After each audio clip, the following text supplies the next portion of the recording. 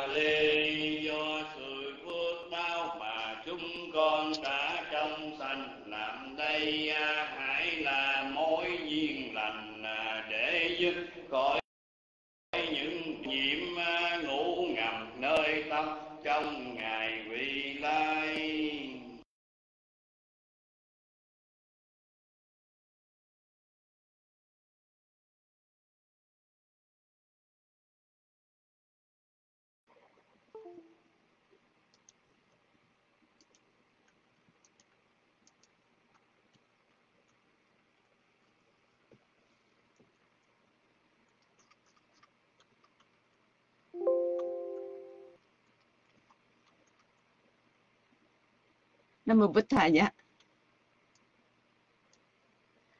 Đây là chương trình Phật Pháp với Đức Thăm trên Podcast mỗi ngày 2 giờ giờ mùa hè Việt Nam từ 8 đến 10 giờ tối, Houston 8 đến 10 giờ sáng, New York 9 đến 11 giờ sáng, Cali 6 đến 8 giờ sáng, Paris 3 đến 5 giờ chiều, Sydney 11 giờ tối đến 1 giờ sáng. Con Lan Nhật thành kính đánh lễ chư tôn đức và thân chào tất cả quý đạo hữu. Hôm nay chủ nhật ngày 21 tháng 6 năm 2020, phục lịch 2564. Đề tài hôm nay giáo trình thắng pháp Abhidhamma, bài 2, những khái niệm cần làm quen trước khi học thắng pháp Abhidhamma sẽ do Thượng tọa Chân Đẳng giảng giải. Mở đầu chương trình, xin tất cả chúng ta trang nghiêm tam nghiệp lãnh đệ tam bảo. Chúng con xin kính thỉnh Thượng tọa Minh Hạnh đọc kinh lễ tam bảo. Mô Bích Thầy.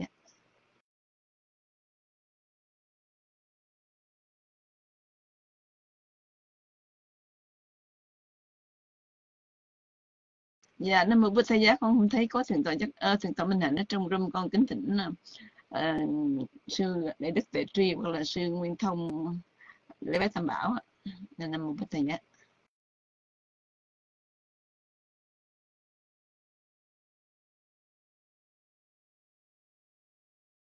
Dạ, Nam Mô Bụt Thầy Giá, con thấy Thượng tọa Minh Hạnh vào rồi, con kính thỉnh Thượng tọa Minh Hạnh, hạnh đọc kinh để bái Tam Bảo.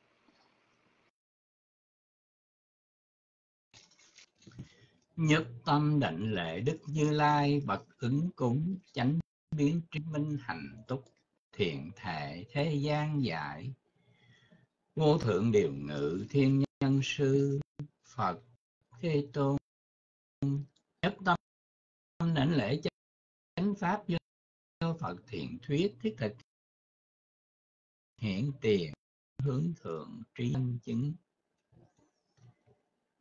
nhất tâm đảnh lễ chư tăng đệ tử thế tôn, bậc diệu hạnh, trực hạnh, như lý hạnh, chân chánh hạnh, gồm bốn đôi tám vị đáng nhận kính lễ là phước điền vô thượng trong đời. Nguyện cầu với đức phật bảo, nguyện cầu với đức pháp bảo, nguyện cầu với đức tăng bảo.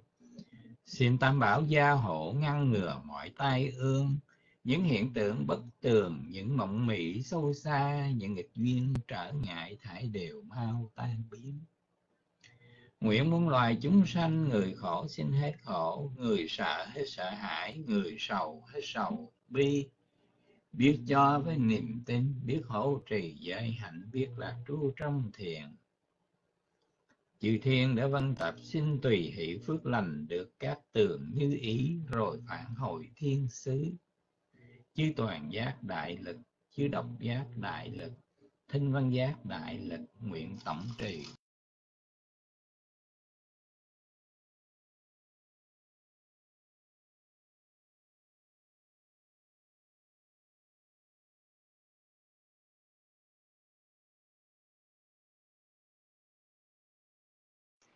Dạ Nam Mô Bụt Thầy Giá, sa thú lành Thầy chúng con kính tri ân thượng tọa Minh Hạnh. Kính bạch chư tôn đức kính thưa đại chúng, bài học hôm nay giáo trình thắng pháp Abhidhamma, bài 2, những khái niệm cần làm quen trước khi học thắng pháp Abhidhamma. Chúng con cũng thỉnh thượng tọa từ siêu từ bi dẫn dạy bài học Nam Mô Thầy Giá.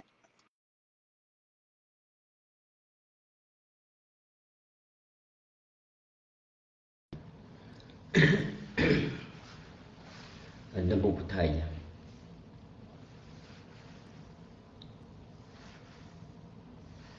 Kính bạch chư tăng, kính thưa quý Phật tử.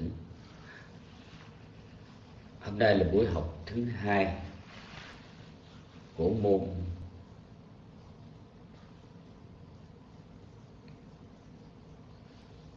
Thắng Pháp Abhidhamma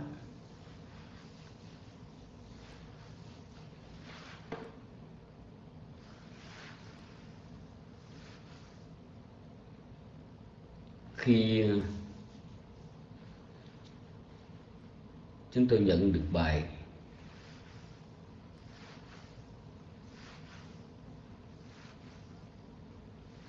thì chúng tôi cũng có phần băn khoăn.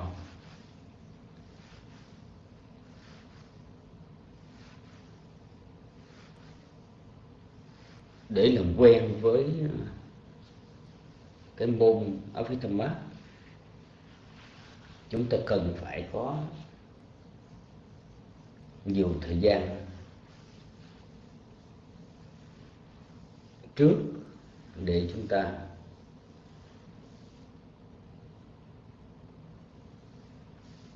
tập làm quen với những khái niệm về cách trình bày cũng như về những cái thuật ngữ ở trong tạng vi pháp ở cái tâm mắt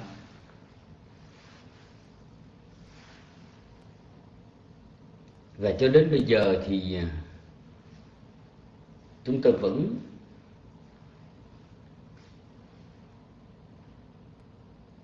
chưa thể hình dung được.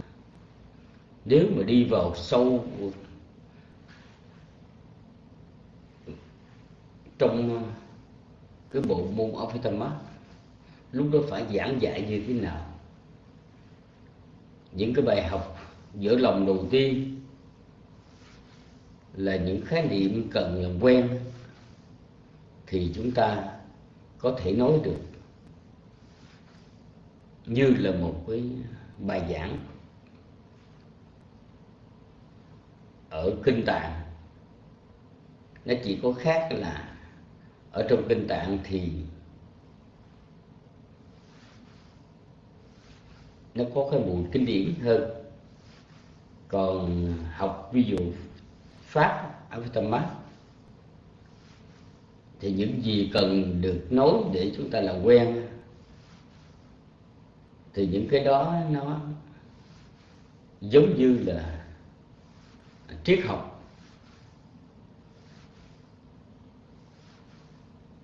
Ít có cái mùi kinh điển. Chính cái lẽ này à, chắc chắn sẽ làm cho chúng ta, những người học Phật lúc ban đầu hơi bỡ ngỡ một chút. Nhưng không sao cả. Chúng ta sẽ làm quen dần dần. Hôm nay thì thượng tọa giác đẳng, giảng sư cho ngài, sẽ giảng bài học về những khái niệm cần làm quen trước khi học tấn pháp ở với tâm mắt chúng tôi ờ, cũng chưa được biết rằng là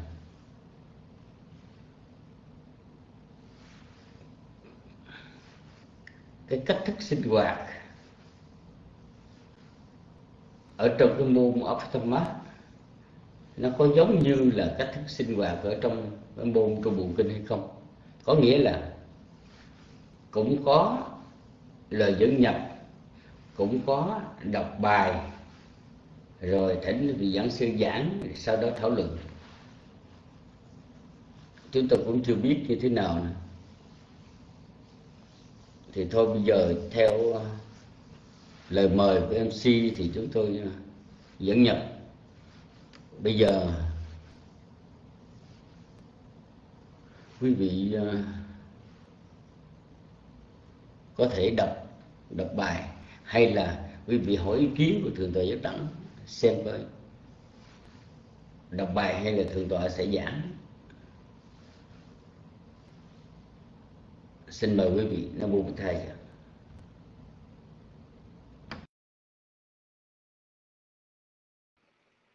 Dạ, Nam Mô Bổn Thầy Giác Sa Thứ Lành Thầy, chúng con kính tri ân thượng tọa từ siêu đã dẫn nhập và con xin à, kính thỉnh ý thượng tọa giác đẳng. Bây giờ con đọc bài rồi sau đó sẽ thỉnh thượng tọa hay là như thế nào ạ? Dạ, dạ, con xin được ờ, đọc bài. Bài học hôm nay giáo trình thắng pháp Abhidhamma. Bài 2. Những khái niệm cần làm quen trước khi học thắng pháp Abhidhamma. Người ta thường học thắng pháp Abhidhamma với sự vận, vận dụng khả năng lý luận và ngôn ngữ vốn có. Không may là ngôn ngữ này, không may là môn học này thường có nhiều điều hoàn toàn mới lạ. Vài điểm sau đây là một số trưng vẫn trưng dẫn về những điều mà người nghiên cứu cần làm quen. Cả hai thế giới, cả hai thế giới vật thể và tâm thể đều kết cấu bằng những đơn vị cực vi. Từ khi có kính hiển vi và những phát kiến rộng lớn trong ngành vật lý, nhân loại bắt đầu biết tới những tế bào sinh học, rồi phân tử, nguyên tử trong thế giới vật chất. Những đơn vị cực vi tạo thành tất cả những hiện hữu của vật thể mà chúng ta biết được.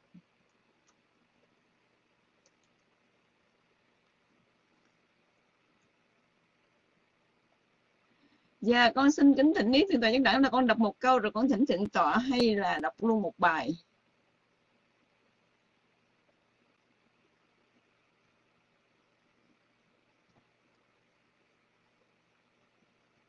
Dạ, dạ, con sắp trước con xin đọc tiếp. Con xin đọc lại. Cả hai thế giới vật thể và tâm thể đều kết cấu bằng những đơn vị cực vi. Từ khi có kính hiển vi và những phát kiến rộng lớn trong ngành vật lý, nhân loại bắt đầu biết tới những tế bào sinh học, rồi phân tử, nguyên tử trong thế giới vật chất. những đơn vị cực vi này tạo thành tất cả những hiện hữu của vật thể mà chúng ta biết được. Thắng pháp Abhidhamma cũng dạy như vậy.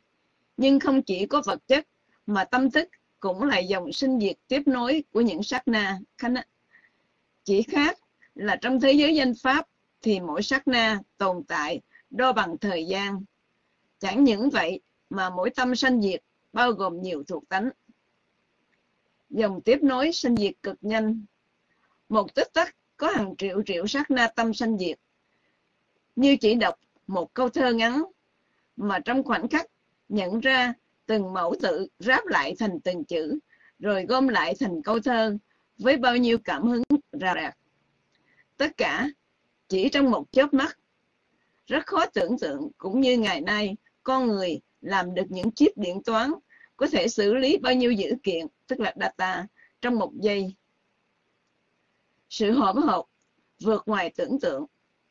Theo thắng pháp Abhidhamma, thì không có sự tồn tại nào của vật chất và tâm thức, dù là đơn vị cực vi, như trong một sát na mà chỉ có một pháp đơn thuần tồn tại. Một sát na tâm đơn giản nhất cũng có tối thiểu bảy thuộc tánh biến hành như xúc, thọ, tưởng, tư, vân vân. Rất khó để hình dung điều này. Thí dụ như trên đầu đũa dính một chút nước canh chua, nếu đưa vào phòng thí nghiệm, người ta sẽ nói trong đó có me, đường, ớt, ngò ôm, vân vân. Mới nghe, thật khó nghĩ ra, nhưng điều đó nhưng đó là điều cần làm quen khi học môn này. Khái niệm vĩ mô và quy mô Trong khái niệm quy mô macro, chúng ta thấy nước ở trong ly, trong ao hồ, vân vân. Nhưng với cái nhìn vĩ mô micro, thì chúng ta thấy nước trong những hạt phi trần, trong dưỡng khí cho hơi thở. Kinh tạng nói xúc duyên cho thọ, rồi tưởng, rồi tư, vân vân. Thắng thì nói tất cả tâm đều có xúc, thọ, tưởng, tư, vân vân là những thuộc tánh đồng sanh, đồng diệt. Không phải là có sự mâu thuẫn, nhưng cách nói theo vĩ mô có khác biệt. Tốt và xấu không hiểu theo quan niệm luân lý thông thường. Tốt xấu, thiện ác, theo cách nói của kinh tạng thì có vẻ như rạch ròi với người học. Sát sanh, trộm cắp là bất thiện. Bố thí, trì giới là thiện. Khi đi vào Abhidhamma, có thể nghe thí dụ này khi một người đang thiết kết, đang thiết kế một khẩu súng với sự tinh xảo, khéo léo, thì đang dùng tâm tịnh hảo dục giới. Nghe rất lạ, nhưng còn lạ hơn khi biết trong những tâm tịnh hảo dục giới đó luôn luôn có những thuộc tánh tính, niệm, tàm, quý, vân vân. Từ vựng cần được hiểu theo thuật ngữ. Vì những khái niệm mới lạ khi học thắng Pháp cần chuẩn bị để hiểu những từ vựng theo thuật ngữ, nghĩa là với cách dùng chuyên môn trong thắng Pháp, thí dụ tâm động lực, diễn trình tâm, tâm hữu phần, vân vân. Tương tự như khi ngành điện toán, tinh học phổ thông thì người ta phải làm quen với những thuật ngữ như giao diện, tức là interface, nhu liệu, tức là software, ổ cứng, tức là hard drive. Một khi đã quen thuộc thì sẽ thấy vốn liếng từ vựng Phật học phong phú. Cảm giác thích và không thích với môn học. Đây là vấn đề lớn với nhiều người nghiên cứu thắng pháp Abhidhamma. Học vì nghe người khác ca ngợi nên thích. Khi bắt đầu một thời gian thì không còn thích. Ngay cả phần đông các vị xuất gia cũng bị vấn đề này. Thích đọc kinh tạng, nhưng không thích đọc luận tạng. Thích cách nói của thiền tông, chứ không ưa hệ thống của A Hàm. Học Phật không thể dùng cảm tính giống như khi học chương trình phổ thông không nên vì thích văn học mà phủ nhận giá trị của toán học. Ngữ và nghĩa Kana, Sakna là đơn vị cực vi của vật chất và tâm thức với sự tồn tại giữa sanh và diệt. Sakna tâm pháp được tính bằng thời gian. Một tích tắc dòng tâm thức sinh diệt triệu triệu Sakna. Sakna sắc pháp, tức là vật chất, chậm hơn tâm pháp 17 lần. Mỗi sát na dù tâm pháp hay sắc pháp đều là sự kết hợp của nhiều thành tố.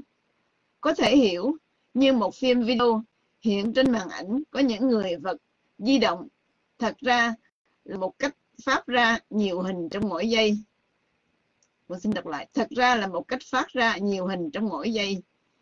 Thí dụ 30 frame mỗi giây. Sự sống là dòng hiện hữu của những sát na sanh diệt liên tục tiếp nối với tốc độ nhanh. Nên cẩn thận, không nên dùng những khái niệm trong tạng kinh để hiểu tạng thắng pháp. Có những đề tài rất quen thuộc trong cả hai tạng kinh và tạng thắng pháp, thí dụ như ngũ quẩn. Nhưng không nên hiểu giống nhau. Trong kinh tạng thì khi quán sát năm quẩn, thì thọ, tưởng, hành, thức được nói riêng biệt theo cách nói đại loại. Macron. trong lúc tạng thắng pháp thì nói cả bốn thọ, quẩn, tưởng, hành quẩn, thức quẩn, luôn có mặt trong mỗi sắc na tâm. Thử dùng khái niệm quen thuộc.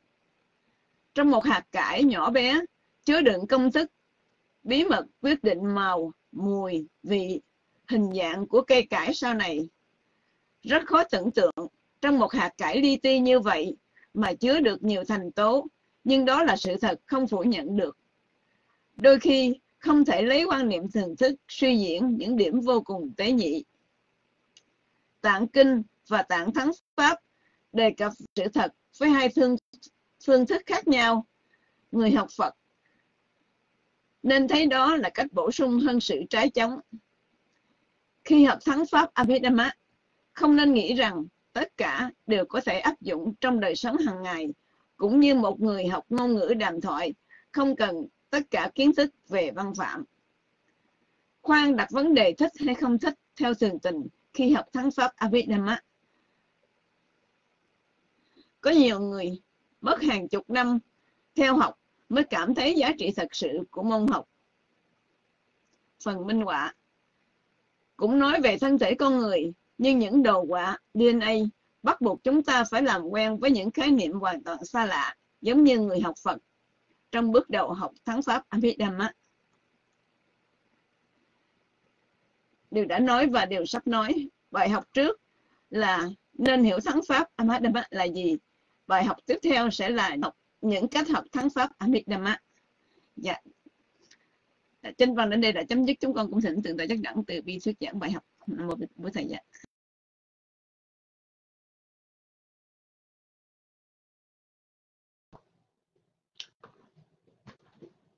Nam mô Bụt Thầy giáo. Kính đại lễ thượng tọa thầy siêu, đại lễ chư tôn đức thân chào tất cả quý Phật tử. À, thưa quý vị, à, lẽ ra chúng tôi à, mở đầu bài học ngày hôm nay à, với những gì mà chúng ta đang chúng ta vừa nghe đọc nhưng mà chúng tôi xin được mở đầu với câu chuyện của tuần tới tức là nói về cái phương cách học A Tỷ Đà khi mà uh, khi tôi từ siêu và chúng tôi còn nhỏ và chưa học thì phải nói rằng uh, thời gian đầu chúng tôi học mà uh, thắng pháp Abhidham giống như là con vẹt.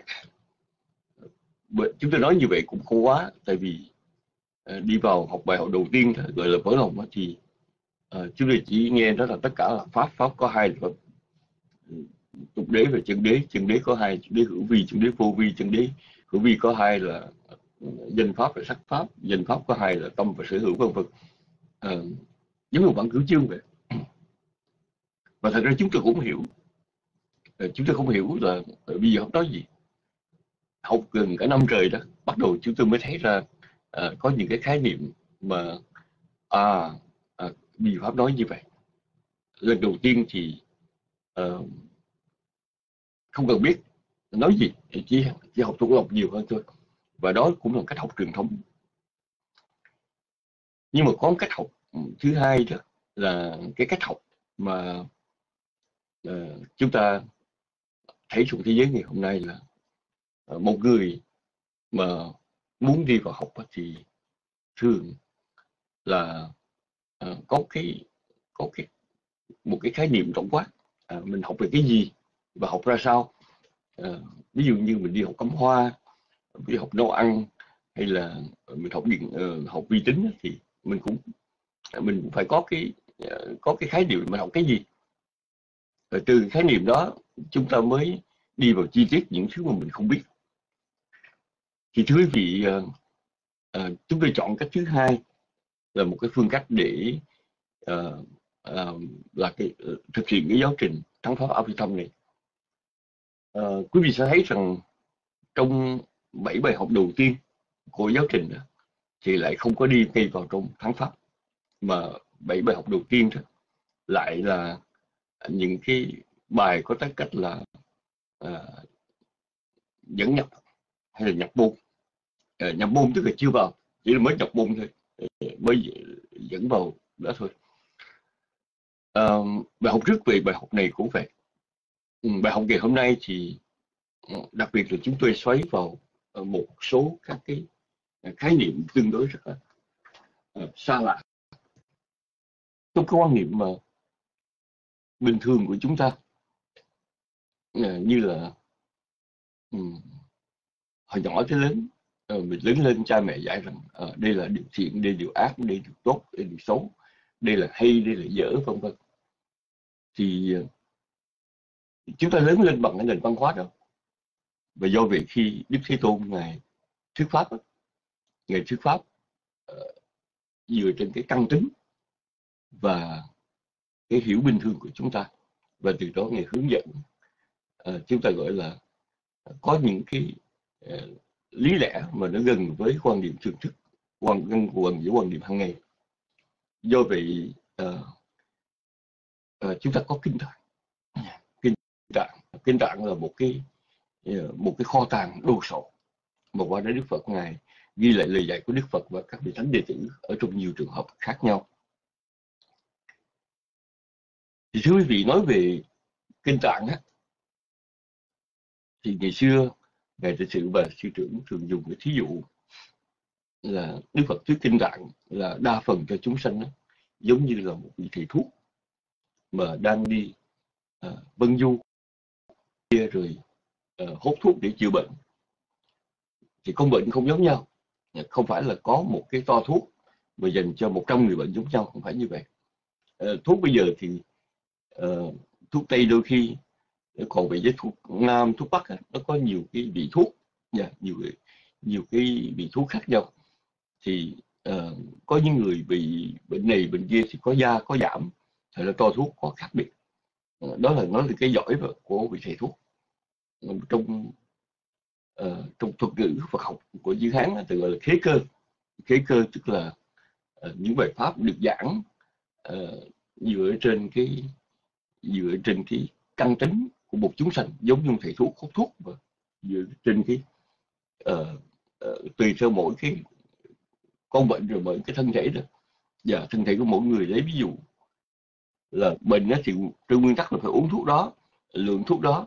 Nhưng mà vì uh, bác sĩ họ thấy rằng có những người to con có người nhỏ con người nhỏ con uống cái liều lượng khác một người to con uống liều lượng khác ví dụ hay là uh, một người ăn thực phẩm uh, ăn nhiều thịt nhiều rượu như ở châu khác mà cái người ăn ít thịt ít rượu như người Á Châu là khác.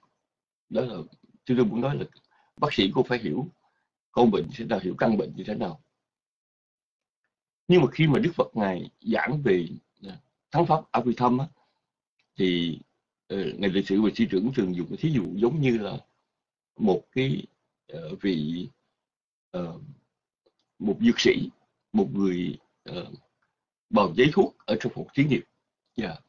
Thì uh, lúc bây giờ thì nhìn đến cái than danh tánh dược uh, nhìn đến những cái uh, bệnh chứng nó không phải là tùy theo người mà nó là một hình ảnh chung dạ thì cái thuốc mà ờ, khi mà cái, cái quan niệm về chế thuốc viện bào chế nó có khác với cái uh, nó có khác với cái, cái cách mà hút thuốc ờ, kê toa cho từng con bệnh.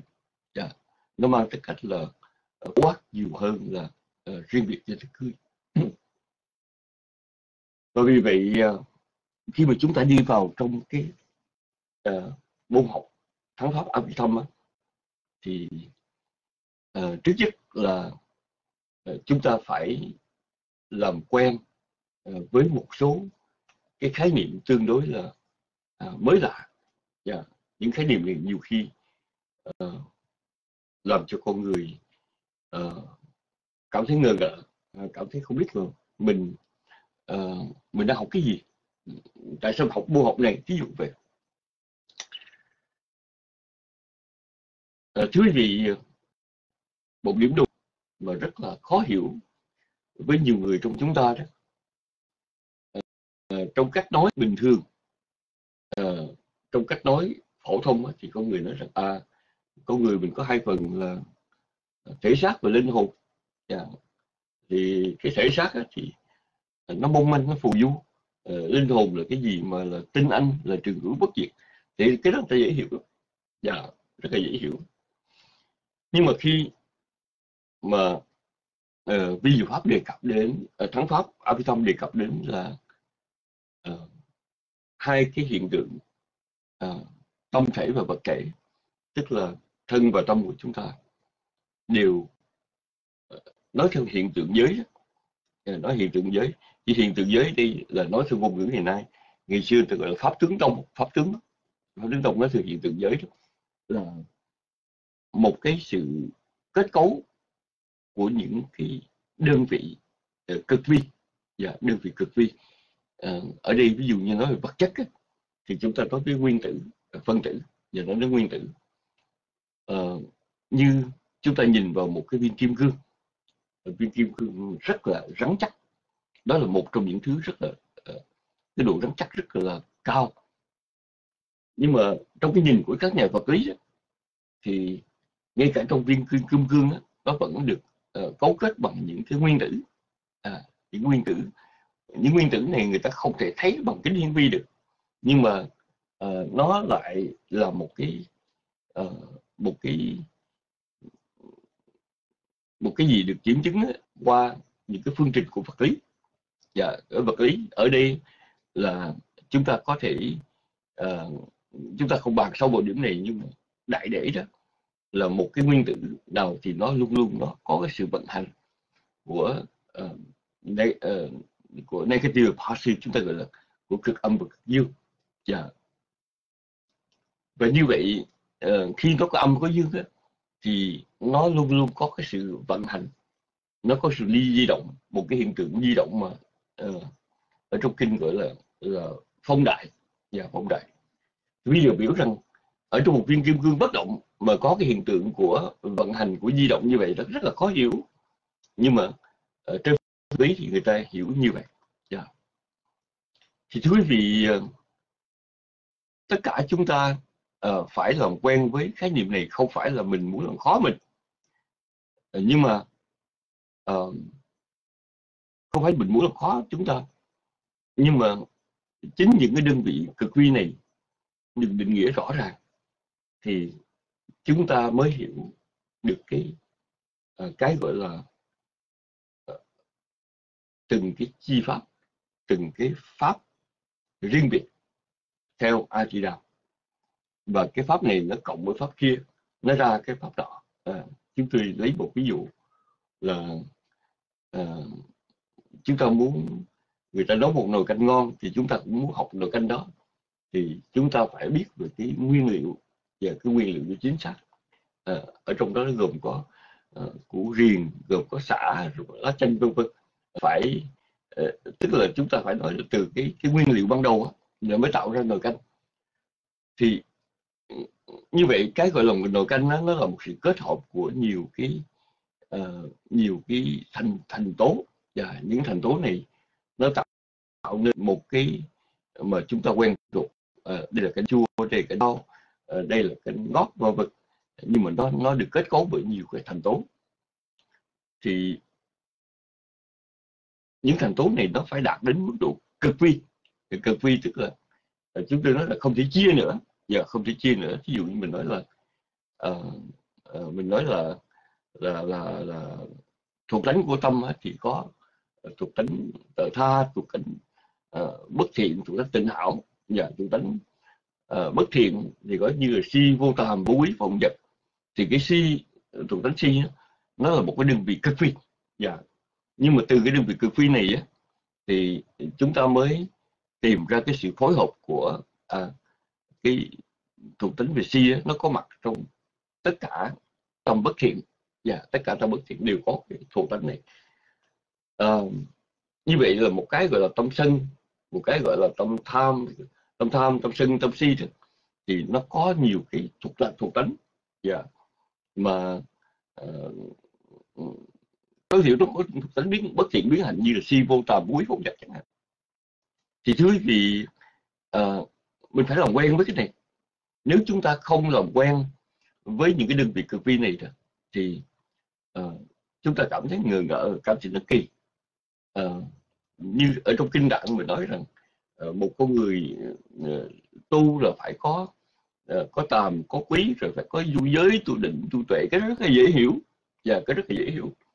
Nhưng mà bây giờ mình nói là trong một cái một cái sắc đa tâm đạo là có đủ cả tám chi đạo và đủ tám chi đạo, chánh kiến, chánh tư duy, chánh ngữ, nghiệp, chánh bản, chánh tấn chánh niệm định. Thì nghe nghe nó cũng hơi lạ và nghe nó hơi lạ lạ. Thì mình mình nói trong kinh đạo, mình nói tu á là Ờ, tu giới rồi giới thành giới quẩn thành tựu định quẩn thành tựu tự quẩn thành tựu vân ờ, thì ý chúng tôi muốn nói là đầu tiên là chúng ta phải làm quen với cái khái niệm về những đơn vị cực vi đó để chúng ta học a di đà dạ. nếu chúng ta không không có làm quen khái niệm đó thì rất khó để mà chúng ta hiểu về uh, về a di đà nó như thế nào. Để quý vị có nghĩ chờ chúng tôi một chút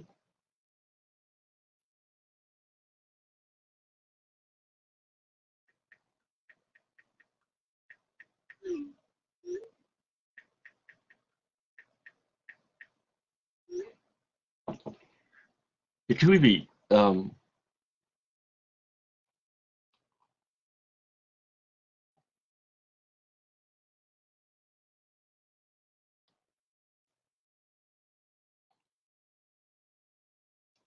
ngoài cái chuyện mà chúng ta nói đến những cái unit chúng ta nói những đơn vị cực vi thì chúng ta phải làm quen với một cái uh, với một cái cái khái niệm về cái gọi là một cái dùng sinh diệt tiếp nối cực nhanh yeah. Cực nhanh cái dòng sinh lợi gì, gì tiếp nối cực nhân này đó uh, thường thường chúng ta không có đề cập. Và chúng ta không đề cập đến trong cái kinh tạng nhiều. Uh, lấy ví dụ như là uh, một cái người vui buồn lẫn lộn hay là uh, một con người có lúc mình cảm thấy rằng giống như có một, một cái sự mâu thuẫn nội tại.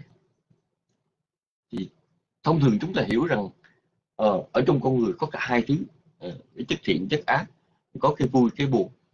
Và mình hiểu rằng những những thứ nó đồng sanh với nhau nhưng mà kỳ thực thì không có để nó có đồng sanh. Chúng ta chỉ có một cái dòng tâm thức sanh diệt nhưng mà bởi vì nó sanh diệt rất nhanh. Cái này tấn đổi cái kia. Và khi có hai ba trạng thái mà chúng ta thấy nó có cùng lúc đó, uh, ờ, mình tưởng đâu là mình có hai thứ tâm tâm thiện tâm bất thiện một lượt. Nhưng mà kỳ thật thì nó có trước có sau ờ, có cái này sanh cái kia diệt. Chúng tôi lấy một ví dụ là ờ, có khi quý phật tử uh, làm phước làm phước là làm bằng tâm thiện uh, đem thực phẩm đến chùa nhưng mà thấy có người khác họ làm uh, họ đem đến cái thứ tốt hơn mình tự nhiên mình đâm ra mình không vui mình mình ganh tị với người đó. Thì uh, không phải là trong cái tâm thiện như chúng ta có cái kinh tị ở trong tâm thiện không phải. Mà bởi vì cái dòng tâm thức chúng ta sanh diệt rất là nhanh. Do đó nó có những cái những cái phân đoạn mà nó mang tới chất thiện và phân đoạn nó mang tới chất bất thiện. Thì cái tâm ganh tị nó không đi chung với tâm bố thí. Tâm bố thí là tâm thiện tâm ganh tị tâm bất thiện. Nhưng mà tại vì nó xảy ra quá nhanh. Do nó xảy ra quá nhanh đó, thì chúng ta tưởng đâu là Ờ, một con người ờ, một lúc có thể có hai ba thứ tâm khác nhau. Có tâm quan hệ có tâm giận có tâm thiện có tâm bất thiện ờ, có tâm muốn cúng dường có tâm ganh tị. Nhưng không phải tại vì tâm nó quá nhanh. Và dạ, tâm sự quá nhanh. Để hiểu cái nhân của cái tâm đó thì chúng ta có thể tạm dùng một vài cái thí dụ. Thí dụ trong bài học này chúng tôi nói rằng uh, đọc cái câu là ngày sau sỏi đá cũng cần có nhau và dạ. thì khi mà mình đọc cái câu đó mình đọc bao lâu đọc nhanh lắm thưa quý vị bị lướt mắt là cái ngày sau sỏi đá cũng cần có nhau và để có được ờ, cái đó, đó thì chúng ta ờ, trước nhất là ờ, mình nói là à mình có rắp vần là chữ n rồi g rồi chữ a rồi chữ y dấu quyền là ngày rồi sau là s à, à, à, a rồi u thì ngày sau sỏi đá cũng cần có nhau. Chúng ta ráp vần rồi từ mỗi cái chữ như vậy chúng ta ra nhiều mẫu từ ráp thành một chữ nhiều chữ ráp thành một câu. Rồi trong một câu đó thì chúng ta lại liên tưởng đến Trịnh Công Sơn chúng ta lại liên tưởng đến một cái ý nghĩa gì trong cuộc sống. Nhưng mà tất cả nó diễn ra mong lắm. Dạ, đâu bao giờ mà mình ngồi mình nói ồ tôi đọc câu đó tôi phải ngồi ráp bần từng chữ. Tôi đọc câu đó tôi môi trí nhớ về Trịnh Công Sơn hay tôi đọc câu ờ, đó tôi phải nhớ về Diễm Sư vân vân mình mình cứ mình mình, mình không mình cái đầu mình nó có làm việc chậm như vậy. Nhưng mà kỳ thật nó có nó có xử lý tất cả những dữ kiện. Nếu nó không xử lý tất cả dữ kiện nó không đọc được chuyện đó ví dụ ví dụ như là uh, trong đó mà có một vài chữ viết sai hay là một vài cái một cái vài cái chữ viết thiếu tự nhiên mình thấy mình biết liền thì như vậy chứng tỏ là cái đó mình khi mình đọc vào cái câu đó đó là mình đã mình đã rà soát qua rà soát tất cả những cái mẫu chữ của từng chữ rồi chữ kết thành câu. Rồi trong câu đó đó chỉnh thành ý nghĩa ý nghĩa tạo thì liên tưởng liên tưởng tạo thành cảm xúc. Nhưng mà điều đó chúng ta thưa quý vị chỉ trong khép ta tắt thôi. À, khó tưởng tượng. Là khó tưởng tượng để mà mình diễn tả được là cái nhân của tâm như thế nào. Thì một cái khái niệm mà chúng ta có thể nói đến rất gần là ngày nay một cái chip của máy vi tính. Dạ, yeah. Chúng ta khoan nói đến những máy tính khổng lồ. Cái điện thoại cầm tay của chúng ta thôi. Một cái chip của nó đó. Thưa vì không phải là người ta gửi text message vô thì uh, nó hiện ra chữ đó màu đó hình đó âm thanh đó. Mà nếu mà nó chậm quá đâu nó không có được giống như chúng ta có đâu. Một cái chip đó trong một giây thôi là nó phải có thể xử lý cả hàng triệu cái data nó process. Nó process như vậy đó để nó tạo cho chúng ta những cái hiệu ứng ờ, thì ờ, về điểm này đó cũng khó tưởng tượng. Làm gì có cái chip nhỏ xíu thôi mà nó có thể xử lý cả hàng triệu data trong một lúc. Nhưng mà chuyện đó chuyện có thật. Và dạ, chuyện đó chuyện có thật. Cái từ xưa rất là xưa xưa rất là xưa khi mà ờ, đạo Phật ờ, khi Phật pháp mới được Thế Tôn giảng và Tôn giả Sách dạy lại cho mọi người thì quý vị chúng tôi hiểu rằng người thời đó nghe cũng khó hiểu chứ không phải khó hiểu được. Tại sao mà một sắc đa ngắn như vậy mà ờ, trong một tất tắc một khẩy móng tay tâm sinh diệt triệu triệu cái? Nghe nó cũng lạ. Nhưng mà nếu ngày hôm nay chúng ta hiểu biết về uh, vi tính thì chúng thấy chuyện đó có gì lạ luôn á. Vật chất mà nó còn nhanh như vậy huống chi là tâm thức. Dạ. Thành ra về điểm này đó là cái may mắn của chúng ta để học thánh pháp âm vi thông hôm nay đó là thưa quý vị có rất nhiều điều ở trong cái thế giới hiện tại đó mà đã đã cho thấy rằng những điều đó không phải là điều quyền hoặc. Những điều đó không phải là những điều mà à, nó à, nó tưởng được mà ra. Mà những điều đó chúng ta thể uh, thấy được. Nó có những điểm tương tự hay là gần để chúng ta hiểu. Dạ, yeah, chúng ta hiểu về thắng pháp âm bởi vì ở trong thời đại này đó và nếu mà chúng ta không chút quen thuộc với những phát triển về khoa học thì chúng ta học thắng pháp uh, ờ, thông chúng ta sẽ rất là thích. Bởi vì sao? Vậy nó có nhiều cái điểm uh, rất là tương đồng. Bây giờ thì chúng ta bước qua một cái khái niệm khác mà nó cũng hơi hơi xa lạ một chút. Yeah. Dạ. đó là cái sự hỗn hợp ngoài cái sức tưởng tượng của chúng ta. Dạ. Uh, cái sự hỗn hợp đó lấy ví dụ như ở trong kinh tạng mà nói đến tính niệm tàm quý vô tham vô sân vô si hành xã thì uh, một chi pháp thôi mình nói nói tràn gian. Và khi mình nói tính nói niệm có nhiều khi người ta lại người ta lại cho trong hai chuyện đó hoàn toàn khác nhau. Và uh, một cái người đi chùa ờ, thắp nhang lại Phật đó là thể hiện cái niềm tin. Còn người bước đi chậm chậm vừa đi vừa theo dõi bước chân đó là niệm vân vân thì cái tính cái niệm đó chúng ta ờ, ờ, chúng ta quan niệm một cách rất là uh, rất là phổ thông. Uh, nó bằng những cái gì mà chúng ta nhận thức rất chậm ở trong đời sống này.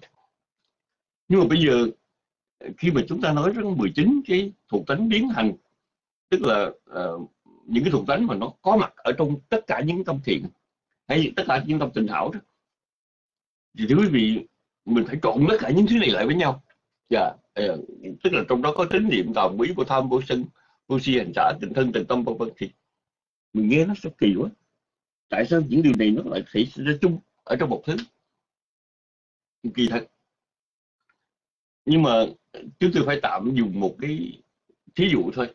Và thí dụ ở đây là quý vị cầm một chiếc đũa quý vị nhúng vào trong một cái tô canh rồi quý vị rảy đi hết thì, thì ở trên thực tế, trên đầu đũa nó vẫn còn dính một ít cái chất của canh. Dạ. Mặc dù nó phải là nước canh của chất canh. Ở trong cái, nếu cái chất đó được gửi vào trong hộp lát, vì một lý do gì đó để người ta điều tra đó, thì thưa quý vị người ta chỉ lấy một cái mẫu rất nhỏ ở trên đó, thì người ta tìm thấy tất cả những hợp chất. Hợp chất nào là của đường, của muối me của chanh của ớt giống gì đó, họ tìm thấy trong đó. Nghe nó cũng lạ. Tại sao? Có một cái chút gì không không phải là nước mà chúng ta thì thể uống được, nếm được, hay chúng ta nếm một cái sơ sơ thôi, mà họ thì phân tích như vậy. Tại vì ở trong cái nhỏ bé đó, nó vẫn hàm chứa được nhiều thứ. Dạ, nó hàm chứa nhiều thứ. Thì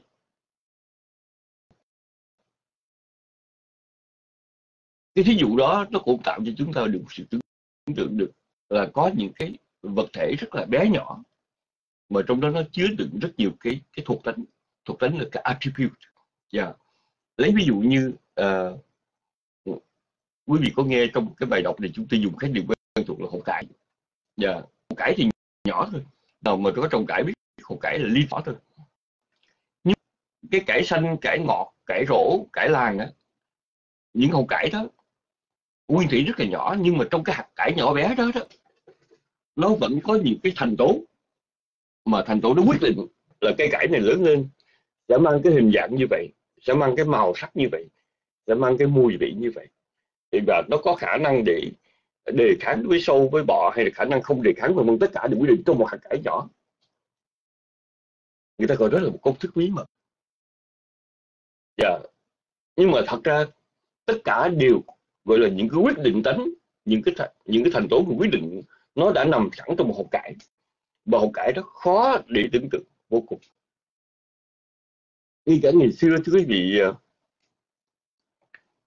ờ, khi mà uh, đề cập ở trong kinh mà nói về uh, nói về cái sự thụ thai và tức là cái phôi thai uh, cái embryo khởi đầu cho cuộc sống của chúng ta nó nhỏ bé lắm và nhỏ bé ở trong kinh vừa dùng cái ví dụ là mình lấy cái lông con nhím á, mình nhúng vào trong dầu mà mình rảy bảy lần cái còn lại nó còn rất ít rất ít gì. Cái lông con nhím quý vị thấy nó nhọn rồi mình nhúng vào dầu rảy bảy lần mà cái còn lại nó rất ít tức là nó vẫn còn dính dầu thì cái cái cái phôi thai đầu tiên của cuộc sống khi mà ờ, uh, tinh cha ờ, uh, tinh trùng của đằng của cha và cái nón châu của mẹ gặp nhau thì nó nhỏ hơn như vậy nữa. Thì cái đó là cái cái đó là cái mà Phật pháp đã nói rất là xa xưa. Nhưng mà trong cái trong cái phôi thai nhỏ bé đó nó đã quyết định về màu da về mái tóc uh, màu da thế nào mái tóc màu gì uh, lớn lên ra sao có những chứng bệnh di truyền ra sao có những đặc tính ra sao nó đã có những quyết định ở trong cái phôi thai nhỏ bé ban đầu cuộc sống. Thì như vậy đó là chúng ta nói rằng có những cái những quý vị quan hệ chờ chúng tôi chúc quý vị không nghe được. không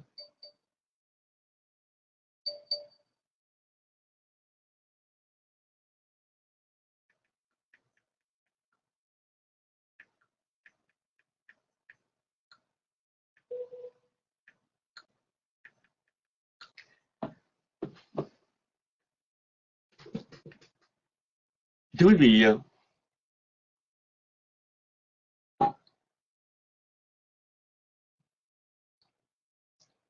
chúng ta thường đối diện với cái cảm giác ngờ ngợ khi mà nghe nói những chuyện đó yeah. tại sao một cái một cái gì nó nhỏ bé nhỏ hơn một hạt bụi mà nó chứa được nhiều cái quyết định tính những cái thuộc tính quan trọng như vậy thì uh, chúng tôi phải thưa rằng rất nhiều thứ ở cuộc sống mà nó vượt ngoài cái sự tưởng tượng của chúng ta. Dạ yeah, rất nhiều thứ. Nhưng mà khi mà chúng ta học vào ờ, uh, thắng pháp Apitam rồi đó thì những điều đó chúng ta phải làm quen. Ví dụ như là một không có cái tâm nào thiếu ừ, bảy thuộc tính biến thành xúc thọ tưởng tư định bằng căn tác ý. Cái nào phải có. Cái đó là cái bắt buộc phải có thì nghe thì nó lạ lắm. Ờ, nghe tại sao? Có xúc có thọ có tưởng tư định mang cánh. Nhưng mà à, như chúng tôi nói rằng một chút nước ở trên đầu đổ không nó cũng hàm chứa dạ nó cũng hàm chứa những cái tất cả những cái như là chua ta cay mặn ngọt với nhiều hợp chất khác nhau mà chúng ta đều hộp lặp chúng ta mới biết được. Và bây giờ chúng ta bước sang một cái khái niệm nó hơi lạ ở trong cuộc sống. Tức là chúng ta nói về khái niệm của ờ, của macro và ờ, micro là cái Việt Nam chúng ta gọi là quy mô và ờ, vĩ mô. Ở trong cái khái niệm về uh, quy mô đó thì cái cách nói chúng ta có rất là đại loại nói bằng thưởng thức cái gì chúng ta nghe những cái niệm bao trùm bên ngoài. Nhưng cái gì vĩ mô đó thì nó là một khái niệm hoàn toàn khác. Uh, mà cái thánh khái niệm vi mô vĩ mô uh, chúng ta được hiểu nó như vậy là uh, bây giờ người ta đưa phi thuyền uh, lên trên hỏa tinh hay lên mặt trăng hay lên một nơi nào đó uh, để họ tìm ra họ tìm ra nước. Thì cái nước H2O mà họ tìm thấy trên đó không phải là một dòng sông không phải là uh, một cái hồ mà họ tìm ở trong uh, những cái khoáng chất uh, khoan những cái lỗ trong đá. Họ tìm ra để họ tìm ra cái nước. Thì thưa quý vị uh, dưỡng khí oxy cũng vậy. Ở trong cái hơi thở ở trong không khí mà chúng ta đang thở đi nó có nước. Uh, bằng chứng là Đấy, ví dụ như cái độ humidity mà cao quá thì chúng ta nghe nó ẩm người ẩm còn khi humidity thấp á, mặc dù chúng ta không thể nhìn thấy humidity nhưng mà chúng ta cảm nhận được. Yeah. uh, chúng tôi có thời gian sống ở uh, uh, sống ở uh, Yucca Valley ở bên California ở vùng sa mạc và chúng tôi cũng có thời gian sống ở Houston. Thì chúng tôi có thể cảm nhận được cái độ khô và cái độ ẩm của hai nơi. Houston là nơi có nhiều độ ẩm trong không khí và ờ, uh, Yucca Valley thì có độ khô trong không khí. Thì ờ, cái cái nước mà ở trong không khí mà nó tạo ra độ ẩm chúng ta không thấy được. Nhưng mà chúng ta thấy cảm được. Dạ, chúng ta thấy cảm được. À, đó chỉ là một ví dụ thôi. Thì khi mình nói nước á, là nước của ao hồ sông rạch á, chúng ta nói cái nước là nước của uh, tức là nước là của của quy mô của macro nhưng mà khi mình nói đến vĩ mô đó, thì uh, chúng ta thấy rằng nước nó có mặt ở trong tất cả ở tất cả những cái vật chất kể cả hữu cơ vô cơ uh, của uh, ở trên mặt đất này.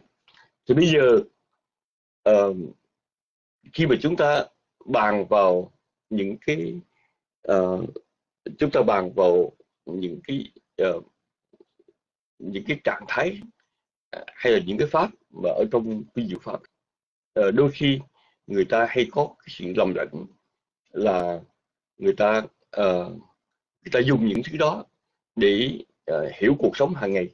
Nhưng mà thật ra nó không có đơn giản dạ nó không đơn giản. Uh, cái gì mà ở trong phòng uh, lab nhiều khi không đem xài được cho người bình thường. Giống như là uh, về vấn đề mà một người uh, một người mà uh, bị uh, béo phì giờ béo phì mà cách nói uh, quy mô của chúng ta bên ngoài đồng ri mình không có chịu vận động mình không có thế này thế kia. Nhưng mà nay thì tới phương diện vĩ mô người ta nói rằng cái DNA của chúng ta dạ, nó có một số DNA chịu trách nhiệm cho vấn đề béo phì. Và người ta làm cách nào đó để họ modify cái DNA đó là một cách chữa bệnh. Thì khi mà nói đến DNA là chúng ta nói đối với các chuyên gia nói trong phòng lab và nó không có à, à, người người như chúng ta bình thường à, không có thể uh, hiểu cái ý niệm đó trong cuộc sống hàng ngày được thật ra trong cuộc sống này uh, chúng ta nên hiểu một điều là uh, cũng cách nói nhưng có những cách nói nó rất chuyên môn và có những cách nói uh, không có chuyên môn yeah. và cái chuyên môn không chuyên môn đó nó dựa vào uh, là chúng ta đang nói trong cái phạm trù nào chúng tôi nhớ là uh, có một thời gian trước đây đó, chúng tôi có làm quen với uh, một vài vị thầy mà các vị này rất là tinh tế trong vấn đề uống trà yeah. Dạ. vị tây uống trà và uh, vị này có cho một vài người khác cũng uống trà thì thứ vị những người khác đó, họ nói con con không uống trà nó đắng. Dạ trà nó đắng không uống. Thì thứ vị cái đắng mà một người không biết uống trà đó nó khác với cái đắng của người người biết uống trà. Dạ. Ờ, cái đắng của người biết uống trà thì có những cái đắng ngon và đắng không ngon. Và cái người không biết uống trà đó thì ờ, nó chỉ có đắng và không đắng thôi. Dạ cũng giống như là chúng ta quen ăn đồ ăn Việt Nam thì uh, có những cái đắng mà chúng ta thích. Ví dụ như rau đắng đó là cái đắng mà mình thích chứ ở Mỹ có rau đắng nhưng mà nó không đắng. Có nhiều khi ăn nó không đắng mình thấy giống như uh, mình ăn mà nó không tới vậy. Tại vì sao? Rau đắng mà nó không đắng. Hay là uh, uh, chúng tôi có thể ăn cái rau đắng của uh, sầu đâu ăn thịt đắng của khổ qua yeah, dạ, nếu mà sầu đâu khổ qua mà nó không đắng thì nó gọi là sầu, sầu đâu không khổ qua nữa nhưng mà điều đó có người là nói ủa sao siêu thích uh, bị đắng đắng có gì đâu thích? Thì chúng tôi nói đắng cũng có nhiều loại chứ không phải không phải cái đắng nào nó cũng giống nhau. À, có những loại mà nó hợp với khẩu vị như là rau đắng với sầu đâu hay là với củ hoa. Còn có những cái đắng mà uh, nó đắng ghét thì thật ra mình cũng phải mình thích. Đây là một cái một cái chuyện mà chúng ta nói về cái cái cái kinh tế và cái cái nó đại nó chung chung ở bên ngoài.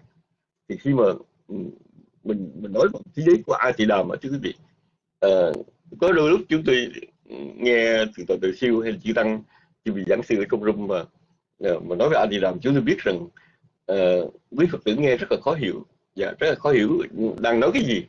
Dạ nhưng mà ờ, uh, chúng tôi cũng không không có chúng tôi cũng không không có ý kiến gì về việc đó. Bởi vì uh, một bên là nói cái chuyện rất là chuyên môn.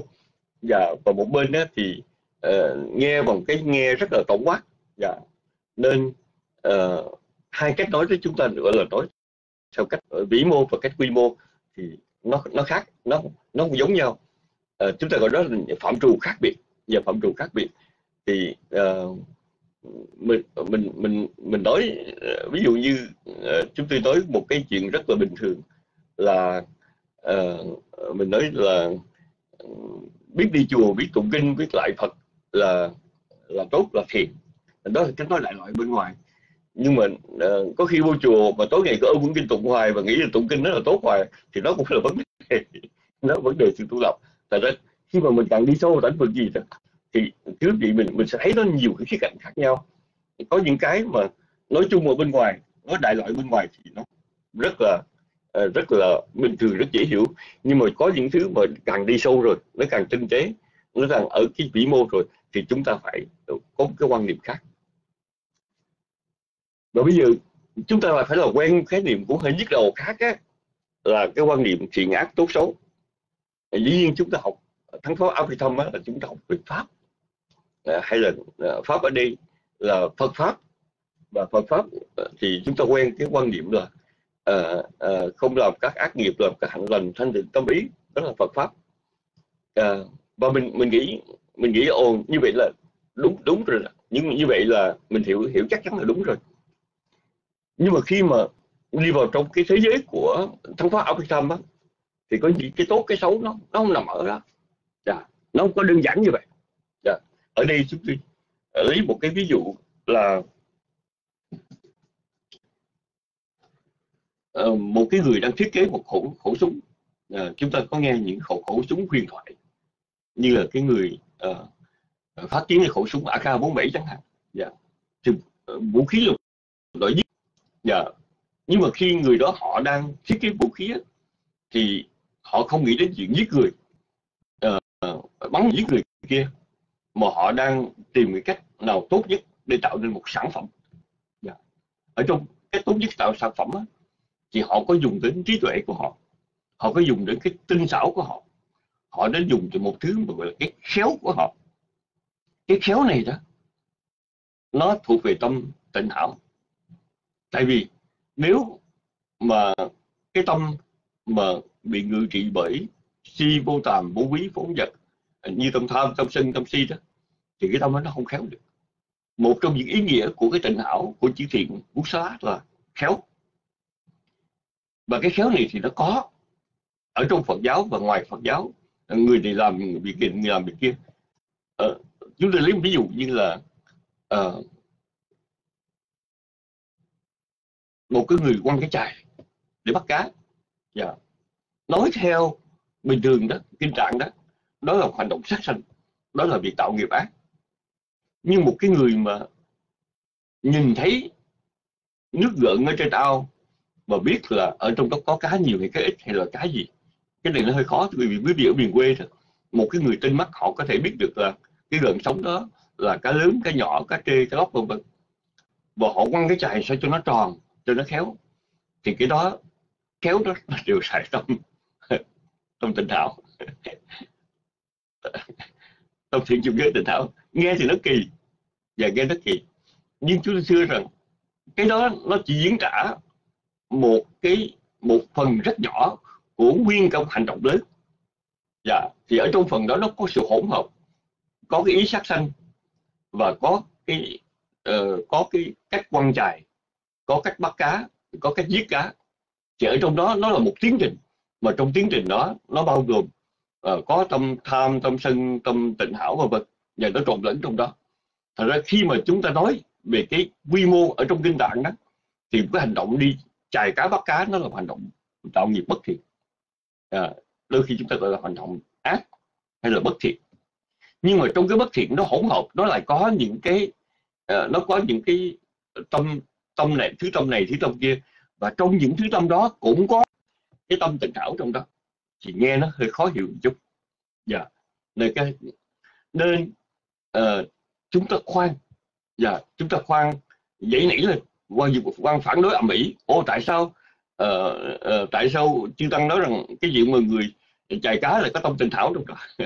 Không, không phải như vậy. Nó phải như vậy. Chúng ta chúng ta đang nói đến một cái chúng ta đang nói đến một cái tiến trình và và tiến trình nó mang tính cách vĩ mô á, thì nó có nhiều cái phân đoạn. Thì có những cái phân đoạn đó là uh, tâm tham có những phân đoạn tâm sân có những phân đoạn là tâm tịnh hảo. Không nên hiểu rằng tất cả những tâm trùng với nhau và khi chúng ta nói đến cái thiện ác theo trong kinh tạng đó chúng ta nói nguyên cả một tiến trình nguyên cả một cái một cái sở hành một cái một cái nghiệp của một người đi chài cá bắt cá. Uh, đó là một tiến trình sát sanh chứ không phải là chúng ta nói vĩ mô. Ở đây chúng ta nói vĩ mô nó khác. Thật ra ờ, ờ, phải rất là cẩn thận về điểm này. Khi mà chúng ta đi vào ở trong cái thế giới của ờ, thắng pháp ở phi thông. Bây giờ chúng ta nói sang một cái lĩnh vực khác thưa quý vị. Đó là từ vựng. Một điểm mà nhức đầu của nhiều người học à, học và thắng pháp thông đó là phải là quen với những danh từ rất mới và chẳng những vậy mà có những danh từ rất quen nhưng mà phải hiểu khái niệm mới. Ở đây chúng ta gọi là những cái cái cha kịch cha kênh trong tiếng Anh tức là những cái thuật ngữ cho một cái chuyên ngành nào đó jargon. Thì cái thuật ngữ này đó là cái chữ đó nó phải được hiểu theo cái ngành đó. Dạ. Chẳng những mình mình hiểu cái mình hiểu cái um,